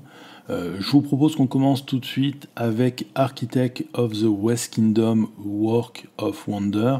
Alors, juste avant, euh, vous allez voir, cette chronique, elle risque d'être assez courte parce que je n'ai que 4 projets à vous présenter. Et sur ces 4 projets, euh, il y en a 3 qui sont des extensions. Alors euh, voilà, comme ça, vous êtes tout de suite au courant. Et surtout, je pense que, par exemple, comme c'est le cas ici, sont des extensions qui s'adressent aux gens qui sont fans du jeu et pas forcément qui vont vendre le jeu de base. Bon, euh, architecte, euh, qui en français se dit architecte des royaumes de l'Ouest, et peut-être que ça va s'appeler Le travail des merveilles, ou peut-être un titre mieux que celui-là. Euh, c'est un jeu qui, à la base, le jeu de base, il est pour 1 à 5 joueurs. Euh, de 12 ans et plus et des parties qui tournent entre 60 et 80 minutes. Euh, je vais être honnête avec vous, euh, comme je me souvenais plus très bien de toutes les règles de architecte et que la plupart de la documentation était dispo que en anglais, j'ai pas trop fouillé sur les nouvelles mécaniques que cette extension allait rapporter. mais ce que je peux vous dire, c'est que en fait, dans Architect, vous êtes dans un jeu de pose d'ouvrier avec euh, une piste de points assez particulière qui est la piste de vertu. Et plus vous êtes haut sur cette piste et plus vous allez avoir des bonus pour euh, scorer en fin de partie. Et plus vous êtes bas, plus vous allez non seulement avoir des malus, mais aussi des petits avantages liés à la fraude pour pouvoir euh, gruger en cours de partie. Sauf que si vous vous faites attraper, ben, vous risquez de vous retrouver en prison avec encore plus de points négatifs en fin de partie. Donc ça c'est la particularité de ce jeu. Et l'extension, elle vient rajouter euh, deux personnages forts. Il y a tout d'abord la princesse. Si vous êtes très vertueux, elle va vous permettre de euh, pouvoir euh, construire les euh, fameuses merveilles. Par contre, si vous n'êtes pas vertueux, à la place, vous irez voir le profiteur et lui, vous allez voir, il va vous donner d'autres avantages. Donc on a, comme vous pouvez le voir ici, un plateau qui va venir se rajouter sur le plateau déjà existant et il rajoute une nouvelle section pour les apprentis. Donc on passe de 4 à 5 choix et ça c'est plutôt cool. Dans les ajouts, il y a aussi 6 nouveaux personnages avec leur asymétrie, 3 nouvelles IA pour pouvoir les affronter, ça c'est aussi très cool, et vous avez une collector box pour ranger tout ce que vous possédez sur Architect, ainsi que un playmat qui comporte déjà le plateau de euh, artisan et celui de euh, euh, Works of Wonder. Et normalement, le jeu devrait être complet. Alors, j'ai pas acheté moi Artisan, donc je peux pas vous en parler. Mais généralement, Shane Phillips sur ces jeux. D'ailleurs, je sais pas si je vous ai si je vous ai dit que c'était de Shane Phillips et de SJ McDonald et que c'était chez Garfield Games. Mais euh, Shane Phillips, qui est le patron de, Garfield Games, euh, sur la série des pillards de la mer du Nord, euh, sur les, le deuxième et le troisième jeu, c'est-à-dire Pillard et Explorateur, il avait rajouté une à deux extensions pour pouvoir compléter. Mais il va rarement au-delà des deux. Généralement, il préfère, d'après ce que j'avais pu lire dans une entrevue, passer à un autre jeu. donc potentiellement, il n'y aura pas de troisième extension pour euh, Architect, mais potentiellement, on pourrait en avoir d'autres pour euh, Paladin ou euh, si cette campagne vous intéresse et que vous voulez juste l'extension, c'est 23 euros. Si vous voulez la collector box et le playmat plus l'extension, c'est 59 euros. Et au niveau des frais de port, c'est 10 euros. Et les taxes, normalement, si je dis pas de bêtises, vont être chargées après la campagne. Euh, est-ce qu'il y a un grand intérêt à aller sur cette dernière? Si vous êtes fan du jeu et que vous voulez euh, la collector box et le playmat Oui. Sinon, je pense que comme il n'y a pas de thread goal ou quoi que ce soit, ben, autant attendre que Pixie ramène cette extension en boutique. Euh, alors, du coup, ben, un des avantages, si vous voulez aller sur la campagne aussi, c'est que vous aurez le jeu avant tout le monde. Mais bon, ça, ça se discute toujours. la deuxième extension sur Kickstarter, c'est Up euh, One Mars Alien Invasion, euh, c'est pour le jeu One Mars bien sûr, de Vital Lacerda. Et ici on a une extension qui va rajouter trois modules qui va vous imposer certaines configurations de jeu. On a le premier module qui euh, a donné justement son titre et sa couverture à l'extension, où un joueur va se battre contre les autres en incarnant les aliens qui viennent envahir la planète avec son petit plateau et euh, toutes ces actions qu'il va pouvoir faire. Donc il a ses propres mécaniques. Là aussi, je euh, je suis pas trop allé en profondeur euh, bah, parce que la plupart du matériel aussi était en anglais. Et j'ai fait une partie de One Mars et ça date de vraiment longtemps, donc du coup, je n'ai pas grand chose à vous raconter. En dehors du fait que vous allez voir, là, on a les deux autres modules qui, eux, sont que jouables en multi. Et enfin, vous avez un mode coop que vous pouvez jouer en solo.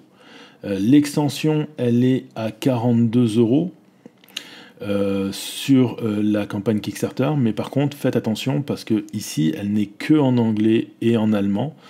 si vous la voulez en français, il faut aller voir les partenaires de Grell Griffon Games. Et euh, c'est tout en bas d'ailleurs, j'en profite pour vous dire que le jeu est pour 1 à 5 joueurs avec des parties compris entre 80 et 150 minutes et des joueurs de 14 ans et plus. Et donc les partenaires de Eagle Griffon Games, ils sont tout en bas, je continue à scroller en même temps que je vous parle.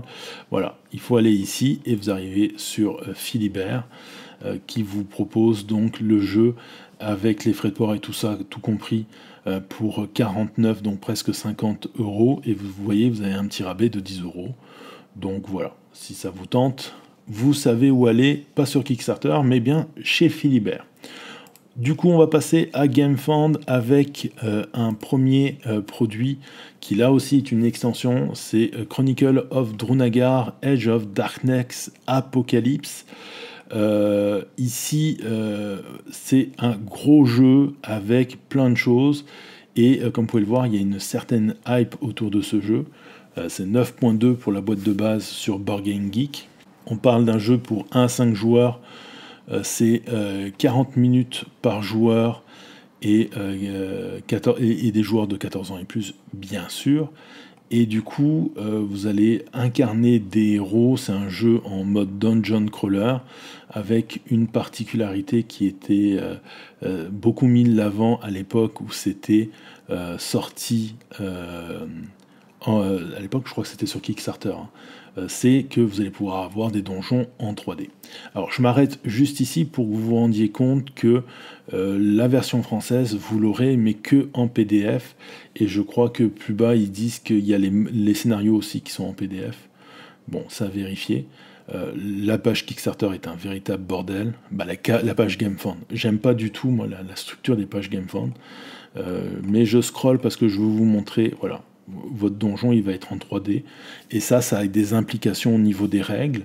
Euh, et l'autre particularité de ce jeu, c'est que euh, vous allez euh, récupérer des petits cubes de couleurs et c'est grâce à ces cubes que vous allez pouvoir faire les tests à vos différentes utilisations de compétences. Bon, dans l'ensemble, même s'il y a une grosse hype autour du jeu, j'ai quand même vu pas mal de critiques qui lui reprochaient de ne pas réinventer la roue et d'être assez classico, euh, classique, même s'il y avait ce petit système de, de, cubes. Alors, bon, je peux pas euh, vous en dire plus que ça parce que euh, j'ai jamais testé le jeu de base et je peux que écouter ce que les influenceurs ont à dire. Et donc, hop, je suis remonté tout en haut. Euh, donc voilà, euh, pour les influenceurs, euh, comme je vous disais, pour les, retours sur le jeu, regardez un peu tout ce qui a été dit, parce que moi je ne peux pas vous expliquer pourquoi certains influenceurs disent que le jeu est très basique, comme je ne l'ai pas testé. par contre, il y en a un qui m'a fait beaucoup rire, c'était le culte du dé qui avait du mal à prononcer ce nom et qui, du coup, dans sa blague, avait dit que toute l'originalité du jeu était ici. Alors c'est une blague, hein. prenez pas ça pour, euh, euh, parole d'évangile, mais c'était juste une blague de sa part et moi ça m'a fait beaucoup rire.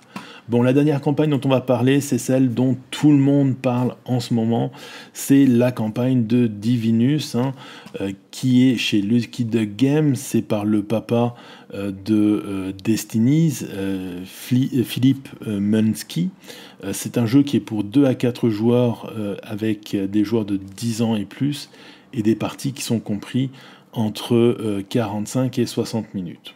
Bon, je dois vous avouer que je me suis fait avoir par la, communication et en beauté d'ailleurs de, de, Lucky Duck Game, puisque quand ils en parlaient, ils faisaient le rapprochement entre Philippe Munskin qui a fait Divinus et qui a fait Destinies, le fait qu'il y avait une application et tout ça, et que euh, dans ce jeu-là, on allait vivre une aventure euh, dans l'Antiquité avec les Grecs, et je pensais vraiment que c'était Destinies chez les Grecs, sauf que au final, c'est un jeu de pose de tuiles et de construction de royaumes. Voilà. Hein. Donc euh, quand on met les pieds dans le plat, pourquoi n'en mettre qu'un et pas plutôt mettre les deux?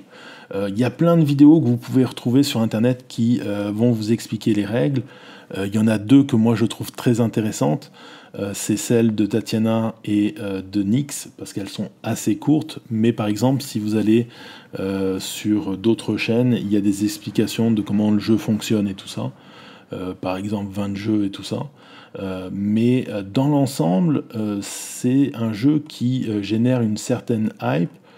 Et moi, je ne suis pas très très fan des jeux hybrides, mais je dois reconnaître qu'il y a quelque chose qui pourrait m'attirer ici. Sauf que j'ai quelques doutes, donc je me dis ça peut être intéressant, vu que tout le monde en parle positivement, une fois de plus de me faire l'avocat du diable et de vous amener justement euh, un son qui pourrait être un petit peu moins populaire. Euh, d'abord, c'est un jeu de pose de tuiles vraiment très simple à la Carcassonne et euh, il y a dessus un mode campagne. Et ça, c'est mon premier point. Euh, parce que tout le monde dit que c'est un jeu avec des règles simples, mais est-ce que j'ai vraiment envie de faire une campagne sur un Carcassonne? Je suis pas sûr. Et du coup, j'espère vraiment que c'est une fausse impression euh, donnée par euh, les, deux scénarios qui étaient dans les boîtes de test. et que justement en ouvrant des, des nouvelles boîtes, parce qu'il y a un côté legacy dans ce jeu-là, il y a des nouvelles mécaniques qui vont arriver et que ça va embellir les choses. Parce que si pour marquer des points, faut juste faire des plaines ou des montagnes, sur 12 parties, ça peut quand même risquer d'être un petit peu plat. c'est sûr que c'est pas le premier jeu qui fait de la pose de tuiles avec du legacy, mais justement la plupart des autres jeux avaient de quoi se renouveler. Et il faut que on retrouve ça dans Divinus. Sinon, je pense que concrètement, euh, ben, les joueurs risquent peut-être un petit peu de s'ennuyer, ou alors c'est une fausse impression. Euh, le côté aventure, il va arriver avec certaines tuiles qui euh, vont vous demander de scanner des symboles. donc bah, ça, ça peut être sympa, comme ça peut vous sortir un petit peu du jeu. il va falloir voir comment c'est géré. pour l'instant, il y a des bons retours là-dessus. Par contre, j'ai écouté la vidéo de Nix et je suis à peu près d'accord avec lui sur euh, la promesse finale, parce qu'on vous dit vous allez faire 12 parties et euh, vous allez avoir un jeu euh, final que vous allez pouvoir rejouer à l'infini. sauf que concrètement, comme il y a du legacy dans ce jeu-là et que vous allez venir coller des autocollants sur des tuiles, ça peut amener un certain déséquilibre. Donc il va falloir faire attention à comment c'est géré, parce que potentiellement votre jeu au final il pourrait ne pas être si rejouable que ça et euh, au contraire, vous pourriez vite vous retrouver avec des tuiles qui euh, sont juste euh, insane et que tout le monde va vouloir récupérer. Ensuite, on va parler des dés parce que c'est une des mécaniques centrales du jeu. En fait, vous allez lancer des dés et vous allez vous servir des résultats soit directement pour aller récupérer une tuile, soit par addition et soustraction, ben, aussi récupérer une tuile. Euh, sauf que ces dés-là, vous allez pouvoir les pimper. Mais pour les pimper, vous allez utiliser des autocollants. Alors, j'ai vu plusieurs personnes dire que euh, fallait pas avoir peur, que euh, c'était des autocollants à, vide, que vous pouviez coller et décoller facilement, et donc du coup, ça allait tenir. Alors, je veux faire peur à personne, mais pour avoir déjà vu ce genre de système sur autre chose que des dés, euh, il y a souvent un moment donné où ce genre de truc ne colle plus aussi bien et c'est pas aussi efficace que des phases de dés qu'on pourrait euh, changer comme dans Diceforge. Et d'ailleurs, c'est dommage qu'ils aient pas communiqué par exemple avec Libellule pour pouvoir récupérer euh, justement le, système de dés parce que je pense que ça aurait été plus intéressant que des autocollants. Bon, ça c'est mon point de vue. Maintenant, euh, le jeu, il n'est pas excessif. Si vous allez voir, hop, la boîte de base, elle est à 59 euros. Euh, si vous voulez euh, une extension supplémentaire, c'est 100 euros. Et si vous voulez, alors ça, c'est pour les minis et tout ça. Est-ce que c'est super utile? J'en sais rien. Mais les minis, vous en avez pour 119 euros. Voilà, c'est tout pour euh, ça. Euh, juste, euh, oui, les frais de port, ils sont aussi tout en bas. D'ailleurs, je me rends compte que je ne vous ai pas parlé des frais de port de. la liste de frais de port, waouh! du coup, nous, donc on est selon le pledge, bah non, en fait ça varie pas, on est à 9,50 et donc sur Chronicle of Drunagar, les frais de port, ils sont, je les ai passés, euh, entre 28 et 36. Voilà, c'est tout pour les plateformes de ce financement. On va passer maintenant aux news. Bon, euh, vu mon timer, la seule question que je suis en train de me poser à ce moment-là, c'est est-ce que je vais réussir à battre mon record de 1h58 euh, Et ben, ça a l'air pas mal parti. Euh, on va commencer avec une très belle initiative, celle de Meeple Solidaire, en fait, qui demande si vous pouvez leur envoyer vos jeux afin de venir en aide, ou plutôt de soutenir ludiquement nos amis belges qui, dans les derniers temps, si vous avez regardé les informations, ont subi de fortes intempéries très destructrices. Euh, je sais, il y a beaucoup de chaînes qui en ont parlé, euh, mais euh, je voulais remettre un petit peu de focus dessus, tout simplement parce que on se sent pas mal concerné ici. Nous, on a connu ça l'année dernière dans l'arrière-pays niçois, et je connais des gens qui ont encore des conséquences de, de ces destructions. Donc voilà, je voulais soutenir cela, et je me dis, si comme moi, vous avez une ou un conjointe ou conjoint qui râle parce qu'il trouve qu'il y a trop de jeux dans votre ludothèque, que ça serait un peu le moment de délaguer parce que ça prend trop de place, et eh ben pourquoi pas lui faire plaisir en soutenant des gens et en aidant des personnes. Voilà, très belle initiative de la part de Meeple Solidaire. Donc vous avez sur la première publication les moyens de justement leur faire parvenir vos jeux. Et ce qui est aussi sympa, c'est qu'ils mettent de temps en temps des petites phrases comme ça. Et il y en a une que j'ai trouvée tellement intelligente. hop, c'est celle-ci. Euh, pile de la honte qui devient pile de la solidarité. Alors euh, oui, pourquoi pas, c'est une très très bonne idée. Allez, on va aller faire le tour des éditeurs. On va commencer par euh, Oregon Games qui reposte un, poste de descent solo pour parler de la série Imperium de Niguel Buckle et David Turzi. donc il y a deux jeux il y a le, classique et le légende. Euh, si vous suivez la zone jeu de société, vous avez certainement entendu parler de ce jeu, puisque Martin dit que c'est le meilleur deck building auquel il est joué. Eh ben, ça arrive en français. Et quand on connaît l'amour de Martin pour les euh, deck building, euh, je me dis que ça peut quand même être une belle référence.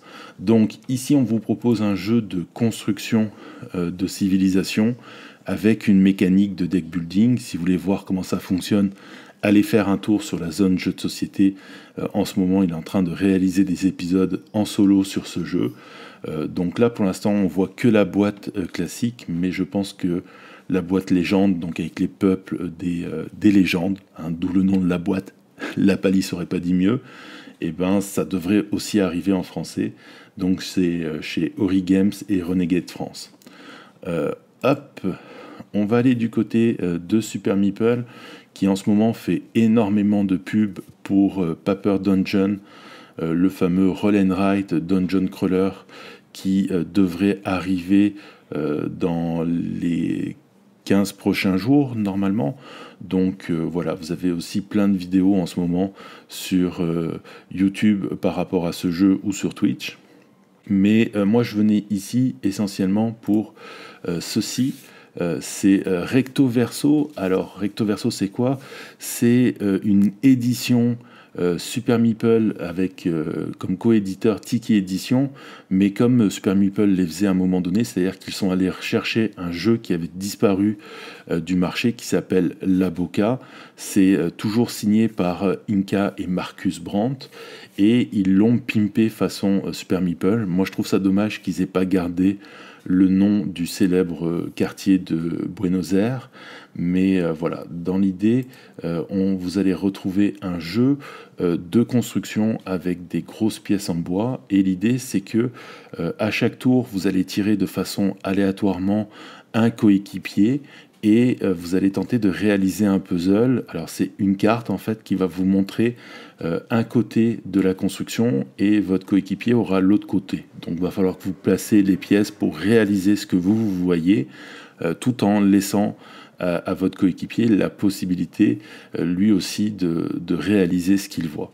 Donc voilà, un petit jeu bien sympathique. je suis plutôt content de le voir revenir parce que je m'étais pas mal amusé, moi, euh, j'avais pu tester la, Boca euh, en, ludothèque, et euh, voilà, ça reviendra en boutique. Hop, on va aller du côté de Asmodée Expert, qui annonce l'ombre du titan fou, l'extension campagne avec Thanos pour Marvel Champion. Donc je vous en avais parlé dans un précédent JT. Euh, vous allez retrouver euh, euh, bah, toute l'équipe qui y a autour de Thanos. Il y a aussi une mécanique par rapport aux pierres d'infini. il y a deux héros, Adam Warlock et Spectrum. C'est, Spectrum, c'est l'ami de Captain Marvel. Ça y est, voilà, j'ai retrouvé son nom. mais normalement, il y a aussi d'autres decks qui sont annoncés. Alors, le Titan Fou, j'ai vu que c'était pour fin août, début septembre. Et euh, normalement, euh, comme je vous disais euh, quand je vous ai présenté Venom, il devrait y avoir Nebula, donc la dernière, cette fois-ci c'est vraiment la dernière gardienne, qui elle aurait dû arriver avant la boîte, mais qui finalement va arriver peut-être en même temps, peut-être juste après. donc c'est prévu pour septembre. Alors Nebula, c'est la sœur de Gamora et c'est un personnage assez particulier puisque les deux sont filles de Thanos et euh, donc euh, pour Nebula, son père a décidé de la rendre plus performante en lui mettant des pièces cybernétiques. Et justement, la mécanique que va utiliser ce deck, c'est que vous allez chercher à récupérer des améliorations afin de pouvoir faire un gros tour qui a un impact assez important. Parce que le problème, c'est que dès que vous résolvez euh, le pouvoir de vos améliorations, elles sont défaussées. Alors, c'est une mécanique que l'on peut retrouver chez d'autres personnages, comme par exemple Black Widow, mais voilà, je vais attendre que ça arrive en magasin pour voir justement quelle est la particularité du petit twist qu'ils auront mis chez elle. Euh, par contre, ce qui est euh, assez sympa, c'est que comme Gamora, eh ben, elle a sa sœur en allié, donc euh, Gabora avait Nebula en allié et Nebula Gamora. Et euh, elle est aussi sa némésis.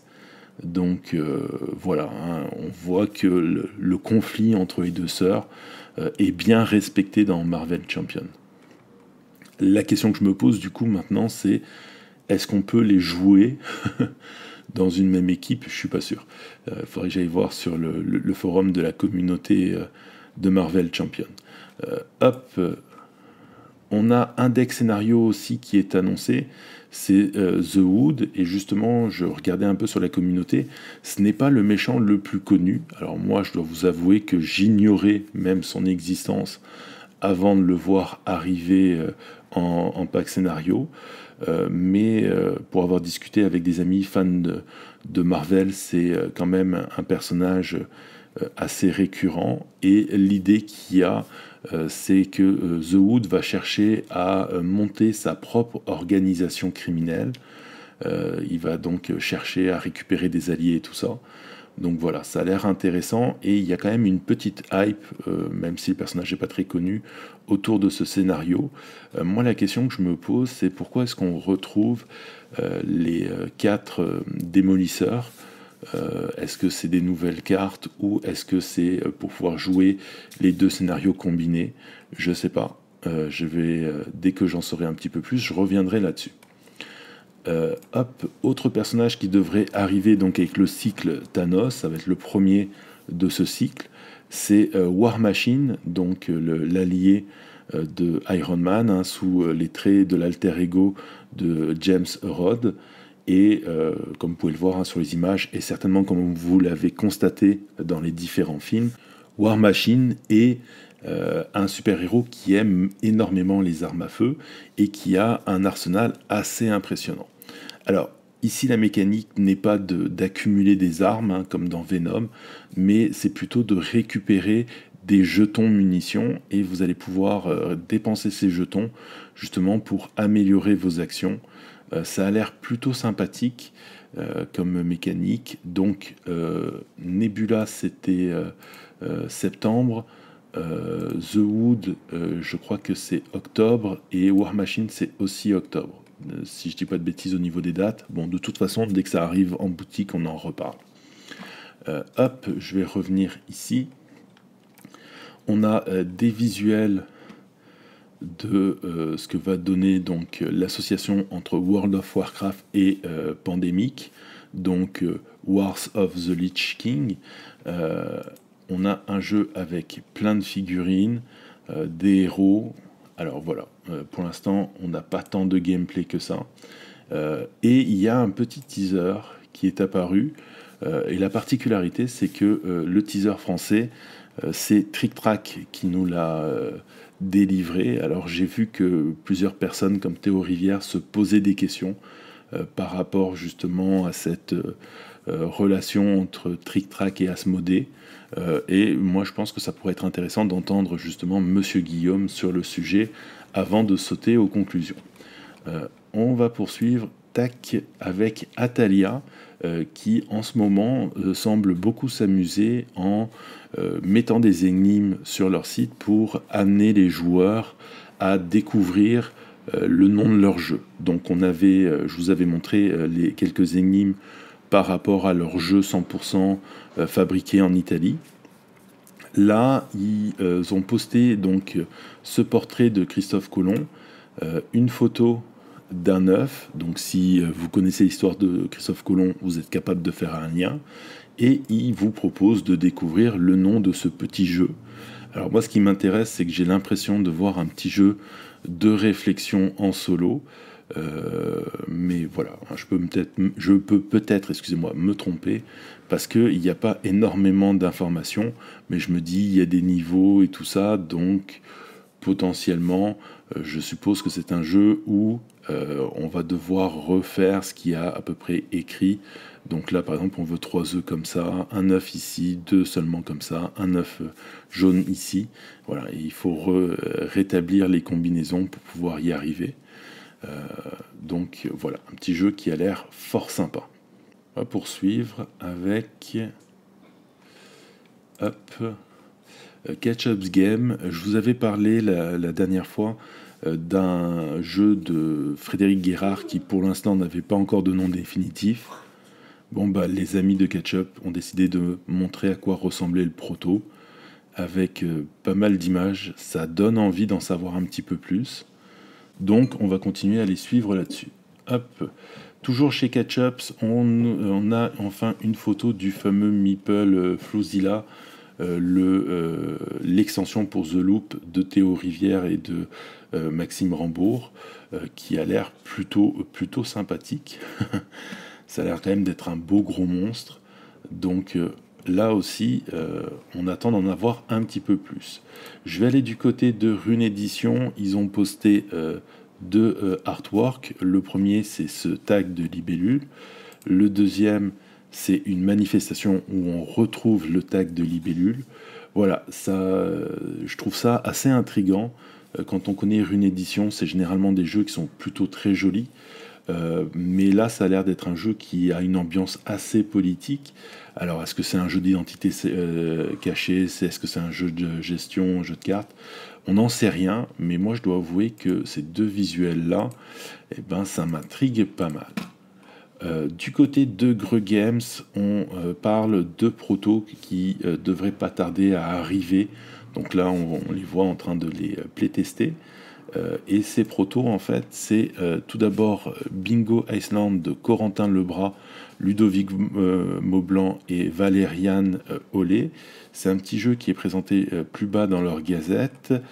Euh, voilà, ici. Euh, en fait, le principe du jeu, c'est que vous allez tourner la roue. ensuite, vous allez dépenser sur votre plateau la ressource demandée par la roue.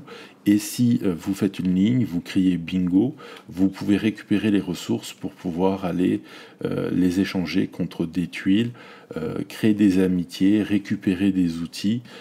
avec ces outils, récupérer des tuiles coffres et ainsi marquer le plus de points. Et la seule chose qu'on sait, c'est qu'il faut faire attention aux crabes. Voilà, donc un petit jeu qui a l'air, bah, je sais pas, une mécanique de bingo moi, c'est pas le truc qui me hype le plus, mais ça a l'air d'être un jeu pour enfants qui a l'air plutôt sympathique. Et euh, voilà, vous avez une, petite entrevue avec euh, Corentin euh, qui est juste en dessous. je vais remonter en haut. hop, on a Fragment, le jeu que j'ai évoqué avec Théo Rivière dans le Parlons bien, parlons jeu. Alors pas beaucoup plus d'informations pour l'instant sur ce jeu. C'est de donc Théo Rivière, Jonathan euh, Favre, Global, Aude euh, Magali et Raphaël Samac. Euh, donc voilà, c'est Bingo, c'est pour fin août et Fragment, c'est pour octobre. Et en novembre, le jeu qui me hype le plus chez Gre Games, c'est Les Contes émerveillés de Christine Alcouve et Ludovic Maublanc. Euh, il y a la boîte juste en bas, je la trouve super jolie, mais on n'a aucune information. Alors voilà, je suis juste hypé sur des visuels de Christine Alcouve, euh, mais euh, je trouve cette boîte de jeu juste superbe. Voilà. Hop, on va aller du côté de Bombix, qui propose sur leur boutique à eux une petite extension pour une extension de 5 cartes pour être précis pour euh, Conspiracy, euh, pour Abyss Conspiracy, euh, qui doit renouveler un peu le jeu. le seul hic, c'est que je suis allé voir sur leur boutique, ça vaut 1 euro et il y a à peu près 8 euros de frais de port. Du coup, ça ramène presque cette extension à 10 euros. Est-ce que ça vaut le coup? Je sais pas. Peut-être que c'est mieux d'y aller si vous avez plusieurs choses à récupérer, parce que c'est un peu cher quand même en frais de port. Mais euh, voilà, voilà. Hop, on va aller du côté de Funforge, hein, qui, euh, je vous en avais parlé la dernière fois, euh, est en train de teaser en ce moment Alerto et le Alerto donc qui est de Uwe Rosenberg, qui est un jeu de gestion de ferme qui semble être moins bien que Agricola d'après les gens de chez Ludovox. Il y a le dungeon crawler très attendu Bloodborne. Euh, qui est aussi annoncé. Et le troisième jeu qui normalement devrait arriver en septembre, c'est euh, Spice Connection. Alors, c'est un jeu que j'ai vu qui a quand même des critiques assez fortes contre lui. Euh, je crois que la note elle est de 6.9 sur BGG. Euh, mais ça a l'air intéressant. Alors je ne sais pas trop quoi en penser. Euh, je vais attendre que ça arrive en boutique, je vais essayer de le tester. Mais l'idée en fait c'est que vous avez une, agence d'espions et vous devez euh, relier différentes villes pour réaliser des missions. Et dès qu'un joueur a accompli cette mission, il remporte la partie. Donc bah écoutez, on va voir ce que ça va donner. Up, toujours chez Funforge, on annonce un partenariat avec euh, euh, Flyos, si je dis pas de bêtises, euh, c'est canadien comme maison d'édition, pour amener en France Vampire The Masquerade Chapters. Donc c'est un jeu qui était passé par Kickstarters, qui dans un premier temps avait fait le buzz, puis le buzz était assez vite retombé, bah, assez vite. Il était quand même retombé de façon assez conséquente parce que plusieurs personnes remettaient en question certaines mécaniques. Alors je sais que euh, l'éditeur a répondu justement à ces inquiétudes, mais je ne peux pas vous dire euh, si euh, ces réponses ont été satisfaisantes ou pas, tout simplement parce qu'à l'époque, moi je m'étais tout simplement désintéressé du jeu. Il faudrait poser la question à Nix. Mais bon, voilà, hein, Funforge nous dit qu'ils vont ramener ce jeu dans nos boutiques. Allez, on poursuit avec un Instagram hein, qui annonce un jeu euh, dans de la science-fiction avec beaucoup de néons, euh, DD, donc vous en doutez, on est dans un roll and write, et un titre assez intéressant, Write the Future, c'est chez All or Non Game. Euh, c'est un jeu qui normalement devrait arriver sur Kickstarter. Il n'y a pas tellement plus d'informations, ça devrait arriver bientôt, donc bah écoutez, euh, je vous montre juste ce visuel euh, qui est vachement euh, accrocheur je trouve, et on en reparle dès que ça arrive sur la plateforme. Hop, du côté de Board Dice, on montre la couverture d'un Kickstarter qui va arriver en janvier, c'est la réédition de La Granja, un jeu qui est de Andreas O'Dandal et euh, c'est un jeu dans lequel vous allez euh, construire votre ferme un peu à la agricola, mais un peu plus stratégique. Donc, euh, bah voilà, un visuel. Pour l'instant, il n'y a pas encore d'explication sur ce qu'ils ont modifié dans les, mécaniques. Donc, bah, à surveiller. Et dès que j'en sais un petit peu plus, je reviendrai aussi sur cette annonce. Ah oui, j'avais oublié deux trucs chez Asmodée. Euh, j'aurais dû d'ailleurs caler euh, tout le reste à cet endroit-là. Bon, c'est pas grave, hein. je me suis un peu moi-même emmêlé dans mes, euh, dans mes slides, c'est pas grave. Mais voilà, Asmodée nous. J'ai ma diction qui a décidé de partir en vacances sans moi. Alors attendez, on va essayer de la refaire. Un chasseur sachant sacher sans son chien, non, c'est une catastrophe. Euh, Asmodée euh, qui nous annonce euh, qu'ils vont travailler sur une licence Disney avec les vilains. Donc ça sera pas un jeu Villainous. voilà, ils ont juste teasé ça. On n'en sait pas plus. il faut attendre le 4 août pour en savoir plus. Donc c'est la semaine prochaine. Euh, voilà, si vous suivez Asmodée France, c'est peut-être quelque chose qui va vous intéresser. Euh, toujours chez Asmodée, on a eu un long post sur euh, les conséquences du Covid par rapport à l'industrie. donc c'est pas très long. ça se trouve donc sur Asmodée Expert. C'est en date du 26 juillet. Et essentiellement, ce que ça explique, c'est que les usines en Chine sont saturées. ils ont essayé de lancer des productions en Europe. Ils le font, ils disent pour 50% de leur jeu, c'est saturé aussi. le prix des bateaux a augmenté. Alors attendez, je vais vous retrouver l'information. voilà, c'est ici. Ah, ça a augmenté, vous voyez, de 600%. C'est un truc de fou. Donc, euh, faut vous attendre à une légère augmentation des euh, jeux euh, dans vos boutiques. c'est dû justement à ces conséquences du Covid. Asmodée ne sont pas les seuls à en avoir parlé. Sur Dicebreaker, on a un article avec Leader Games justement qui parle de la même chose. Donc Leader Games, c'est OAS et Root. Euh, voilà, ils en tirent à peu près la même conséquence. Et j'ai entendu ça aussi euh, sur le live de Yellow. Donc c'est un live qu'ils ont fait sur euh, leur chaîne Twitch, Yellow France. Un live que je vous recommande parce qu'ils parlent de toutes leurs sorties. Et ils vont aussi parler d'une légère augmentation du prix des jeux due à ces conséquences du Covid. pour rester un petit peu sur ce live, il y a pas mal d'informations euh, intéressantes. Je ne vais pas toutes les, résumer ici parce que ça serait beaucoup trop long. Hein. Vous voyez, il y a eu quasiment deux heures de live. Euh, mais il y, a des il y a deux choses que j'ai notées. Euh, tout d'abord, pour les fans de Unmatch, normalement, il y a la Cobalt and Smog qui devrait arriver, la boîte sur les héros anglais, avec Sherlock Holmes, l'homme invisible, Dr. Jekyll et Mr. Hyde et Dracula. Euh, ensuite, ils ont parlé de Beowulf et du Chaperon Rouge, avec un plateau un peu particulier où il y a un espèce de système où vous allez pouvoir fermer les portes.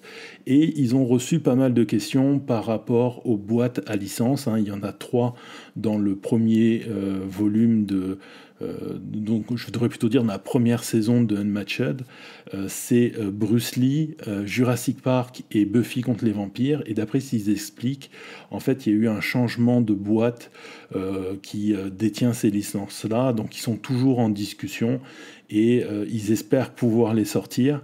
Mais il y a déjà le Unmatched volume 2 Combat des légendes qui est prévu. Euh, donc potentiellement, ça va sortir avant euh, justement les trois jeux à licence que les, bah, les trois licences de Unmatched dont je vous ai parlé. Donc euh, bah, dès qu'on en saurait un petit peu plus, ils vont sûrement en reparler. Et je vous avoue que moi j'aimerais vraiment mettre la main sur la boîte de Buffy. Donc si on voit pas ça arriver en français, je pense que je vais mettre à écumer les sites de revente anglophones parce que euh, c'est Buffy, quoi. euh, hop, euh, toujours dans les annonces qu'ils ont fait, euh, en septembre est prévu le deuxième volume de la campagne Les Ruines de Tandar pour Hero Ruins. Donc c'est la petite extension qui transforme le jeu de deck building en jeu en campagne et en coopératif. Donc là, le village perdu euh, va vous amener à enquêter euh, sur une conspiration avec une génération d'une maladie. Euh, ça a l'air plutôt sympa dans l'ambiance. Il n'y a pas énormément d'infos sur la page de Yellow, mais j'ai hâte de voir ça arriver en boutique parce que j'avais vraiment, vraiment kiffé la première partie de la campagne et j'espère qu'ils vont en sortir d'autres. Donc voilà, White Wizard, hein, continuer là-dessus. C'est euh, vraiment un jeu qui est très très cool. Euh, hop, on va aller faire un petit tour sur YouTube avant d'attaquer les journaux. Euh, sur la chaîne de Knight Models, c'est ceux qui font le jeu,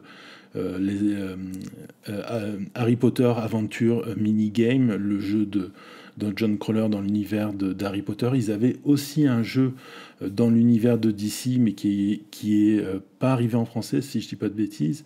Et euh, là, en fait, ils font un teaser pour un Kickstarter qui a l'air plutôt intéressant. C'est Escape from Arkham Asylum. Et en fait, dans ce jeu, vous allez incarner un méchant de l'univers de Batman qui cherche à s'enfuir. Bon, la problématique souvent, ou je devrais plutôt dire le reproche qui est fait à Knight Game, donc Knight Model, excusez-moi, c'est la qualité de leurs figurines. Mais bon, là, c'est du Batman, c'est la possibilité d'incarner des personnages comme Bane ou le Joker ou encore Harley Quinn. Donc voilà, ça a l'air plutôt cool.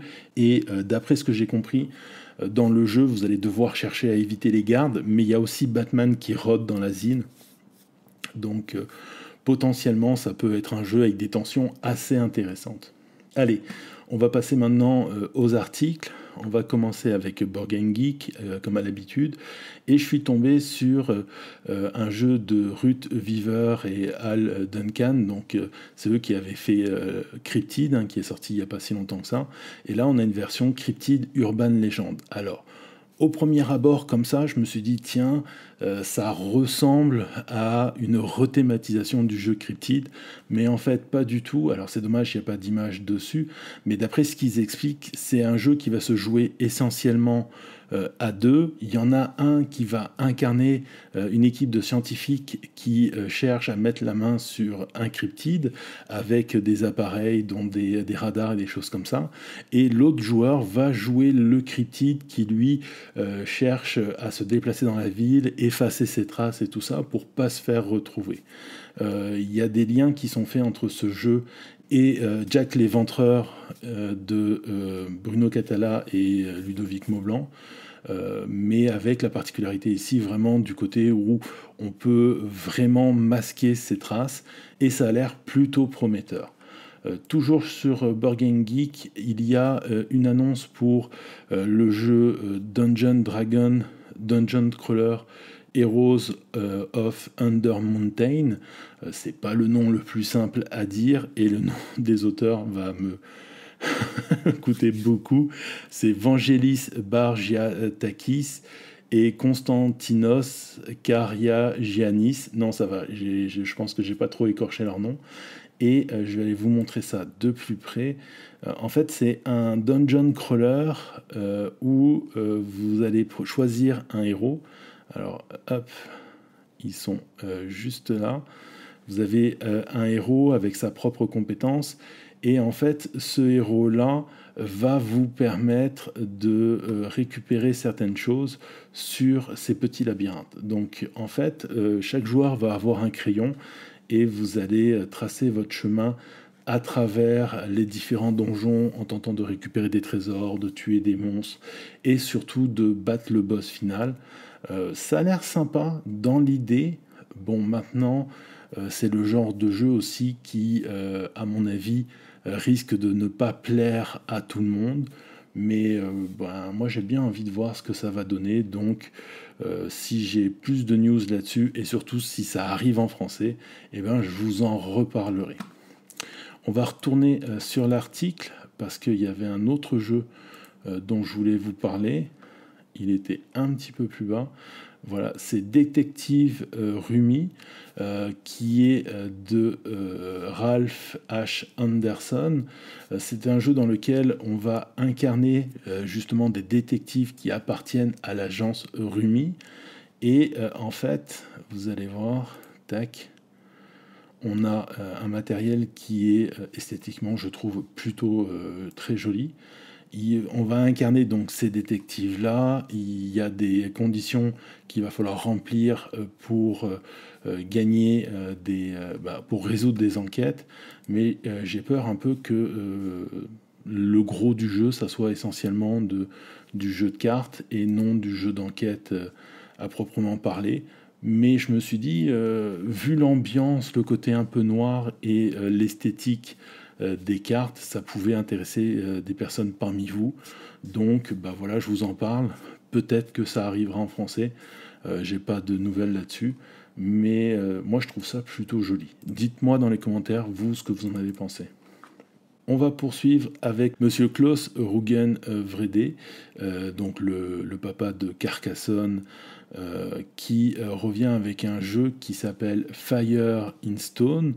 Euh, ça, dernièrement, on parlait, je me souviens plus comment il s'appelait en français, le Carcassonne préhistorique. Bon, voilà, c'est un peu cette ère-là, sauf que ici, on est vraiment dans un jeu de développement mondial par rapport à votre civilisation préhistorique. Alors regardez, vous avez vraiment une carte qui... Bah, c'est pas trop l'apogée, hein, mais c'est l'apogée qui commence à se séparer. Et en fait, l'idée, c'est que vous allez déplacer euh, vos explorateurs euh, sur différentes zones. Il y a des petits jetons que vous allez retourner. Et euh, quand vous retournez le jeton, il y a un effet qui se produit. Et par la suite, ça devient une action que vous allez pouvoir utiliser. Donc ça va être vraiment un jeu en double tempo. Euh, ça a l'air assez sympathique. Va falloir euh, occuper des territoires avec euh, vos camps, va falloir vous développer, tout ça. Ça a l'air plutôt sympa. artistiquement, là par contre, c'est quand même moins joli, mais ça va dans la pure tradition des, jeux à l'allemande. Donc c'est pas très étonnant. hop, je poursuis avec un article qui a été posté par rapport à Void Fall, donc le jeu de euh, Nick Buckle et David Turzi. Euh, c'est un jeu dont on a déjà parlé dans un précédent JT. C'est un 4X et justement dans cet article, excusez-moi, on apprend un peu plus de choses par rapport au jeu. Euh, déjà, on va être dans une société futuriste féodale avec des maisons qui ont une certaine stature et un certain pouvoir. Et en fait, nous, on va jouer les maisons inférieures parce que il y a un portail qui semble s'être ouvert euh, dans notre système solaire et il y a ce qu'on appelle le void qui est sorti de ce portail et qui commence à se répandre. Et donc euh, les, maisons majeures se sont retrouvées euh, détruites par ce void. Et donc nous on va essayer de détendre justement notre pouvoir, de pouvoir créer notre empire pour venir les, les remplacer. Donc ça c'est dans la partie compétitive parce que le jeu va se jouer euh, selon deux formes. La partie compétitive comme je vous l'ai dit avec ce côté de 4X où il y a de l'extension, euh, il y a un système de tuiles comme vous pouvez le voir qui va vous permettre de générer euh, différentes choses. Je vous laisserai lire l'article euh, pour en apprendre plus, mais ça a l'air vraiment très intéressant. Mais il y a aussi une possibilité de le jouer en compétitif, et en fait, il a dans, cette version-là, faut que vous vous alliez les uns avec les autres pour aller détruire le Void et ainsi euh, libérer l'univers. Donc euh, vous pouvez vous amuser à d'abord aller détruire le void, puis à enchaîner avec une partie compétitive. Je trouve que c'est plutôt intéressant comme, comme principe de jeu. Euh, et euh, ben, si vous lisez l'article, vous allez voir, il y a vraiment beaucoup de choses qui ont l'air très intéressantes dans ce petit jeu-là. Euh, par contre, le niveau de difficulté, je pense que c'est pas un jeu Man Clash Game pour rien. On est quand même plutôt dans du jeu expert. Donc voilà, ça c'était pour nos amis de chez Board Ah, attendez, avant que j'aille plus loin par rapport à Man Clash, je suis tombé là-dessus. C'est le shop donc de l'éditeur. Et euh, jusqu'à présent il y avait juste euh, une, ouverture USA et Canada. Et là maintenant on a une boutique Europe. Et donc vous allez pouvoir aller dessus chercher les goodies que vous voulez pour vos euh, différents jeux. Donc voilà vous avez Tricerion vous avez la Big Box pour Anachrony vous avez tout ce dont vous avez besoin pour pouvoir pimper vos jeux je vais terminer avec euh, Ludovox hein, qui euh, nous euh, parle de la future extension prévue pour Paléo.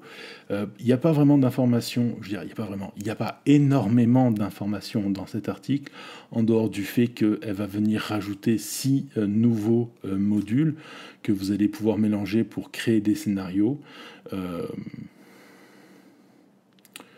donc voilà. Euh, oui, je pense qu'il parle aussi à un moment donné du fait qu'il y a un des modules qui va vous permettre de capturer des dodos. Euh, mais euh, voilà, pas plus d'informations. Et ce week-end, je suis allé faire un petit tour chez Philibert. Et dans les nouveautés, j'ai trouvé deux mini-extensions aussi qui vont arriver pour Paléo. Mais voilà, vous voyez, c'est écrit en français. Donc c'est des extensions de cartes. Ici, en fait, euh, c'est euh, un scénario que vous allez d'ailleurs pouvoir rajouter. Euh, je ne sais plus à quel scénario c'était écrit en bas. c'est au scénario, au module A et B pour donner une alternative au level 1. et en fait, c'est un rite d'initiation. Il y a quatre jeunes qui doivent passer au travers d'une série d'épreuves pour justement devenir des guerriers, des, des, jeunes guerriers. Il y a cette extension-là. Et il y en a une autre, hop, c'est les oiseaux euh, terreur, en fait, c'est une extension où vous allez devoir aller euh, récupérer des œufs avant qu'ils éclosent. Donc les œufs qui sont là. Donc voilà, deux petites extensions qui sont prévues pour septembre euh, si vous voulez rajouter du contenu à votre paléo. Voilà, c'était tout pour les news. il y a eu pas mal d'informations on a vu pas mal de choses. S'il y, a, des choses sur lesquelles vous voulez qu'on revienne, eh ben, utilisez l'espace commentaire. Hein. on peut discuter euh, un moment dessus. Euh, en attendant, moi, je vais passer euh, maintenant à la petite discussion que je vous ai promis dans l'introduction. Donc, c'est parti. Bon, comme je vous l'avais promis, on va parler du, du feuilleton de l'été.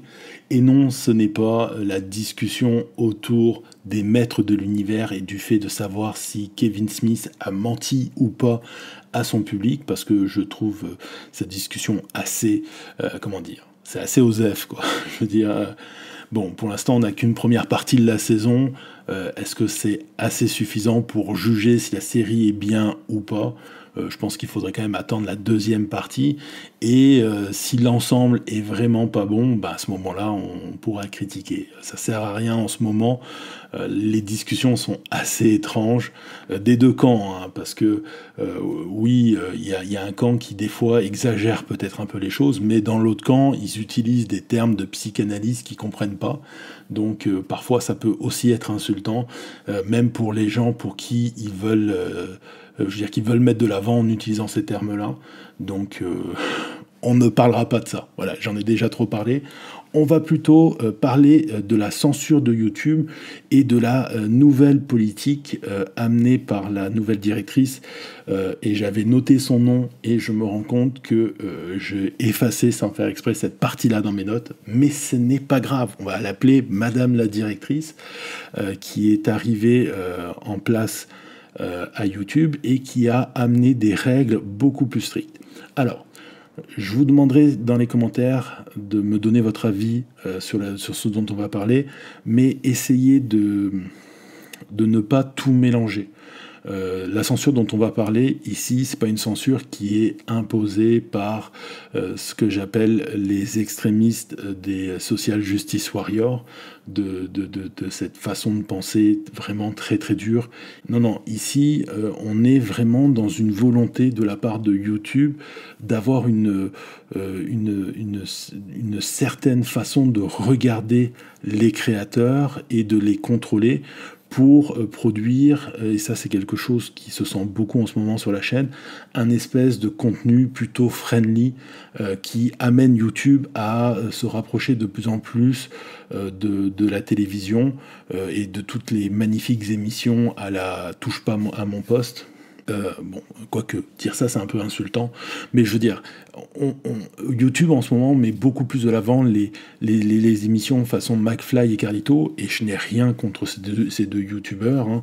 Euh, je regarde pas leur contenu parce que ça m'intéresse pas, mais personnellement je n'ai rien contre eux.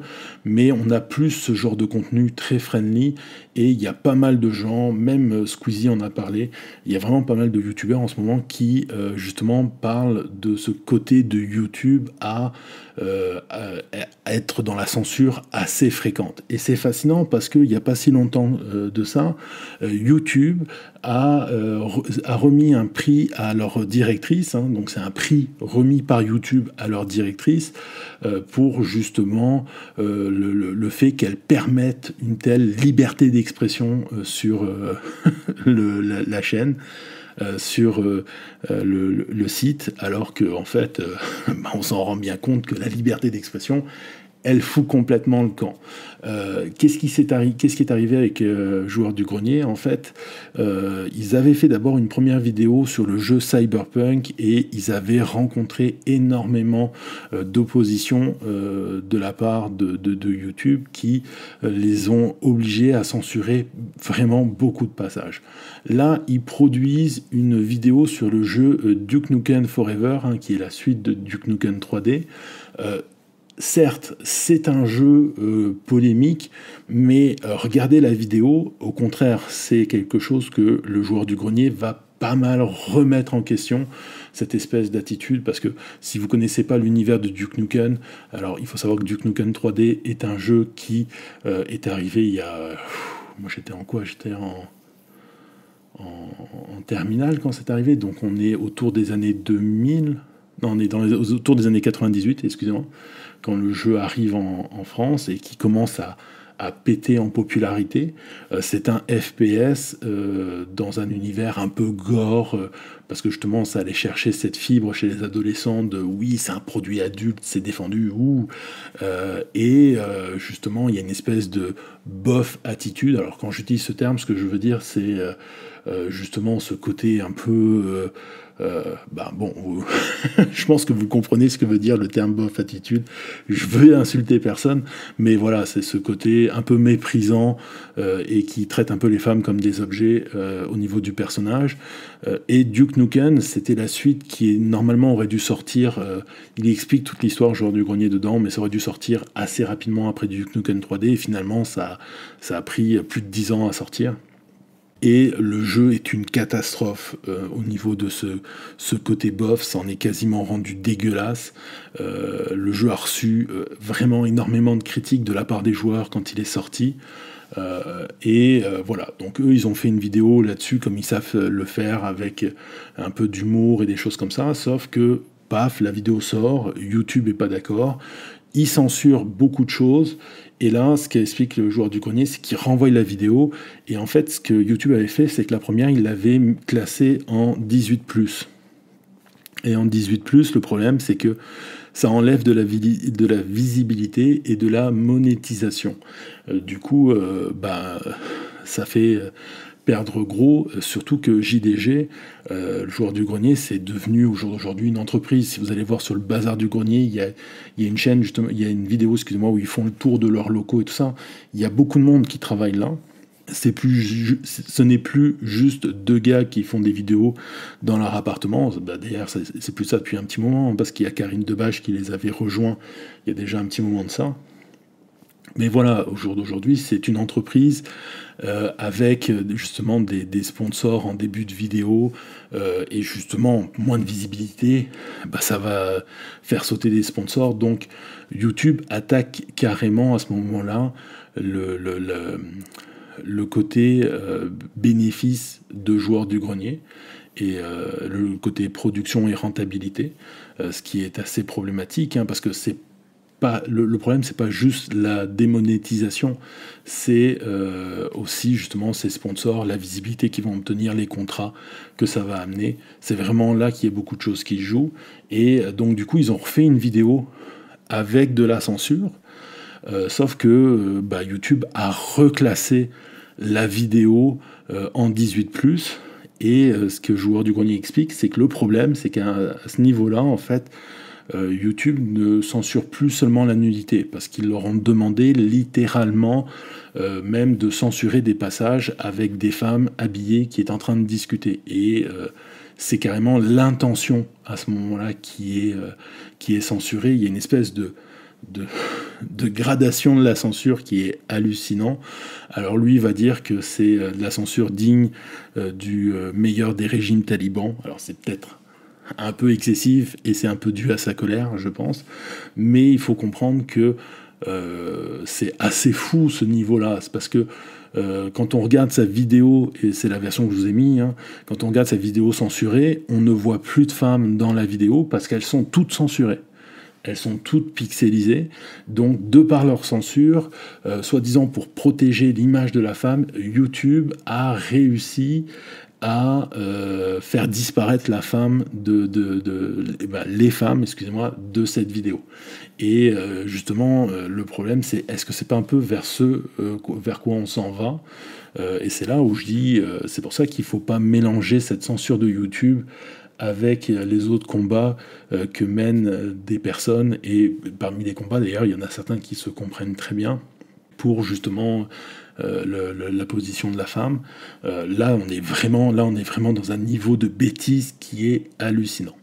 Il y a un petit reviewer sur YouTube qui s'appelle La part en thèse, et je fais exprès de séparer chaque mot parce que c'est le, c'est le nom de, sa chaîne, qui a lancé une pétition.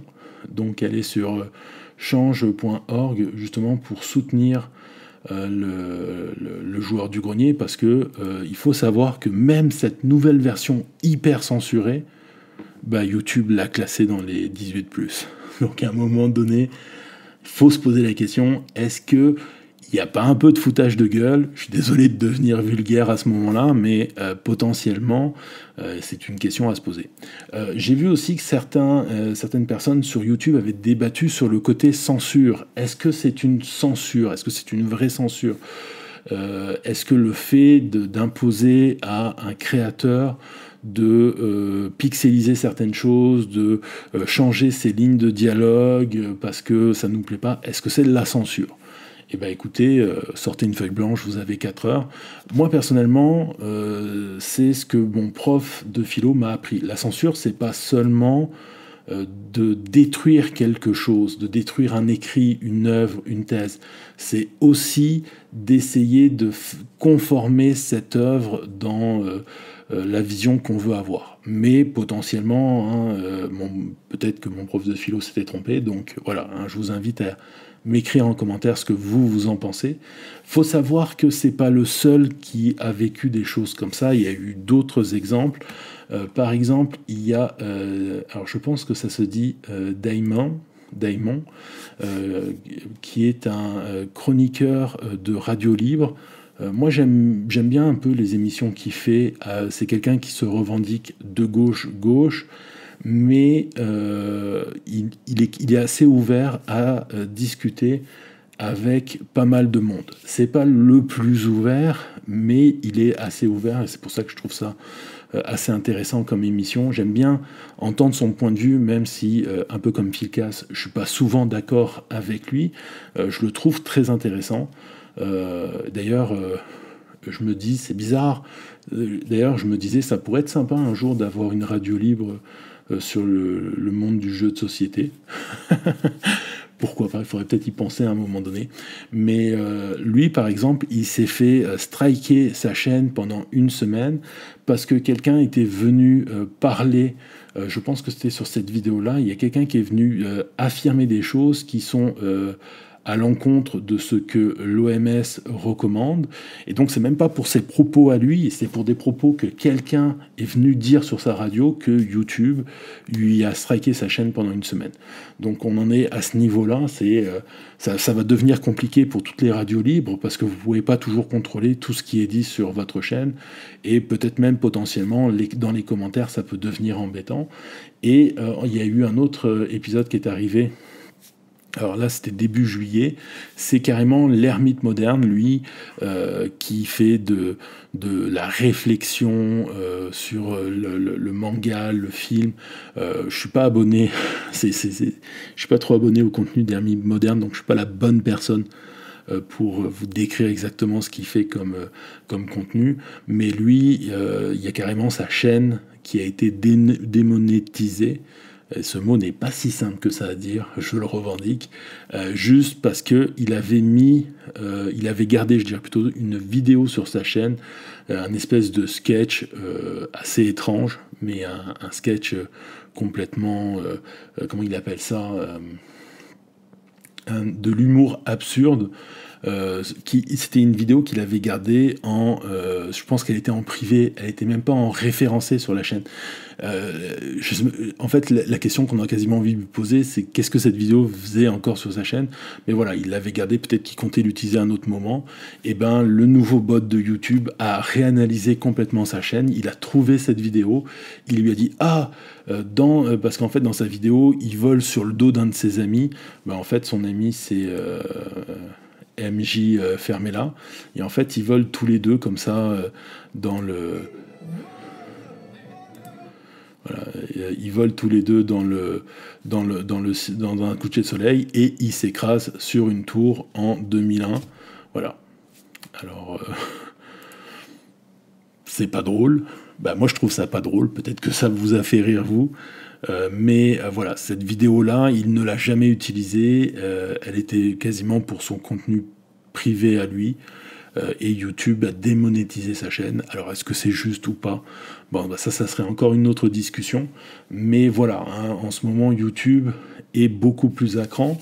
Et vous allez me dire quel est le rapport avec euh, le, monde ludique? Eh ben, euh, ce genre de censure-là, comme dit Joueur du Grenier, ça semble vouloir lisser YouTube vers un genre d'émission euh, qui est plus friendly. Et donc peut-être qu'à un moment donné, ben, des petites chaînes comme la mienne, parce que par moment, euh, je vais dans des sujets qui sont pas très conventionnels, euh, qui sont pas très friendly, parce que j'aime bien parler parler de ces sujets-là. ben potentiellement, je pourrais moi-même, alors qui me démonétise, c'est pas grave, je gagne pas d'argent de toute façon, j'ai pas assez d'abonnés pour être monétisé. Mais ce que je veux dire à un moment donné, c'est que ce genre de de dérive de YouTube pourrait très bien se retrouver euh, sur des euh, sur euh, avoir un certain impact sur sur des chaînes comme la mienne surtout surtout que j'avais vu une vidéo je sais plus de qui elle était je crois que c'était la luxure comment il s'appelle? C'est pas grave ça me reviendra plus tard. Un reviewer francophone qui en parlait euh, du fait que euh, potentiellement, je crois que c'était lui, hein, euh, qui en parlait, qui expliquait que la nouvelle politique de YouTube, justement, risquait de moins mettre de l'avant certains petits influenceurs par rapport à certains médias. Donc, ben voilà, hein, potentiellement, YouTube, zone libre, bah, ça pourrait peut-être disparaître. Alors, on va pas crier tout de suite à l'apocalypse. On va voir comment les choses évoluent. Euh, d'après ce que Joueur du Grenier a l'air d'expliquer dans ses euh, euh, derniers tweets, il y a une possibilité pour qu'il s'en aille vers une solution juridique. Mais voilà. Voilà, une histoire à suivre, on va dire. Bon, dites-moi en commentaire ce que vous pensez de tout ça, ça m'intéresse de vous lire. Euh, je vais conclure cette vidéo euh, comme, euh, comme je vous ai expliqué à un moment donné, vu que j'ai mis du temps à sortir cet épisode, j'ai rajouté pas mal de choses, notamment dans les news. Hein. Il y a beaucoup de choses que j'ai rajoutées dans les news. Donc potentiellement, il n'y aura pas d'épisode la semaine prochaine. Et la semaine d'après, je suis en vacances. Donc je serai en Bretagne, j'ai pas mon ordinateur. Donc, pas d'épisode non plus pendant 15 jours. Euh, j'essaierai quand même de vous sortir un épisode de euh, des jeux et des œuvres parce que je me faisais la réflexion au niveau du montage et j'étais content de voir qu'il y en avait deux parmi vous, c'est Monsieur Ludema et euh, Monsieur Franck qui m'ont fait la même réflexion en me disant peut-être que ça pourrait être intéressant d'avoir ce format en indépendant. Alors peut-être que la semaine prochaine je vais trouver le temps euh, de vous parler euh, d'un sujet qui intéresse autant euh, les psychologues que les philosophes, que les théologiens, c'est le libre arbitre, et je vous ferai un épisode test là-dessus. En attendant, je vous souhaite bonne continuité. si vous voulez voir quelque chose de très intéressant sur ma chaîne et que vous ne l'avez pas déjà vu, je vous recommande l'entrevue avec Monsieur Théo Rivière et Monsieur Philcas. Euh, où on a parlé euh, de thématiques. C'est une émission que je trouve euh, bigrement intéressante. Et bah, en même temps, c'est moi qui l'ai fait, donc je m'envoie des fleurs. Voilà, J'ai le droit. je m'envoie des fleurs. Non Bon, d'accord. Sur ce, eh ben écoutez, euh, si je sors pas d'épisode la semaine prochaine, je vous souhaite de bonnes vacances et on se retrouve dans 15 jours. Sinon, bah, on se retrouvera la semaine prochaine. Allez, bonne continuité.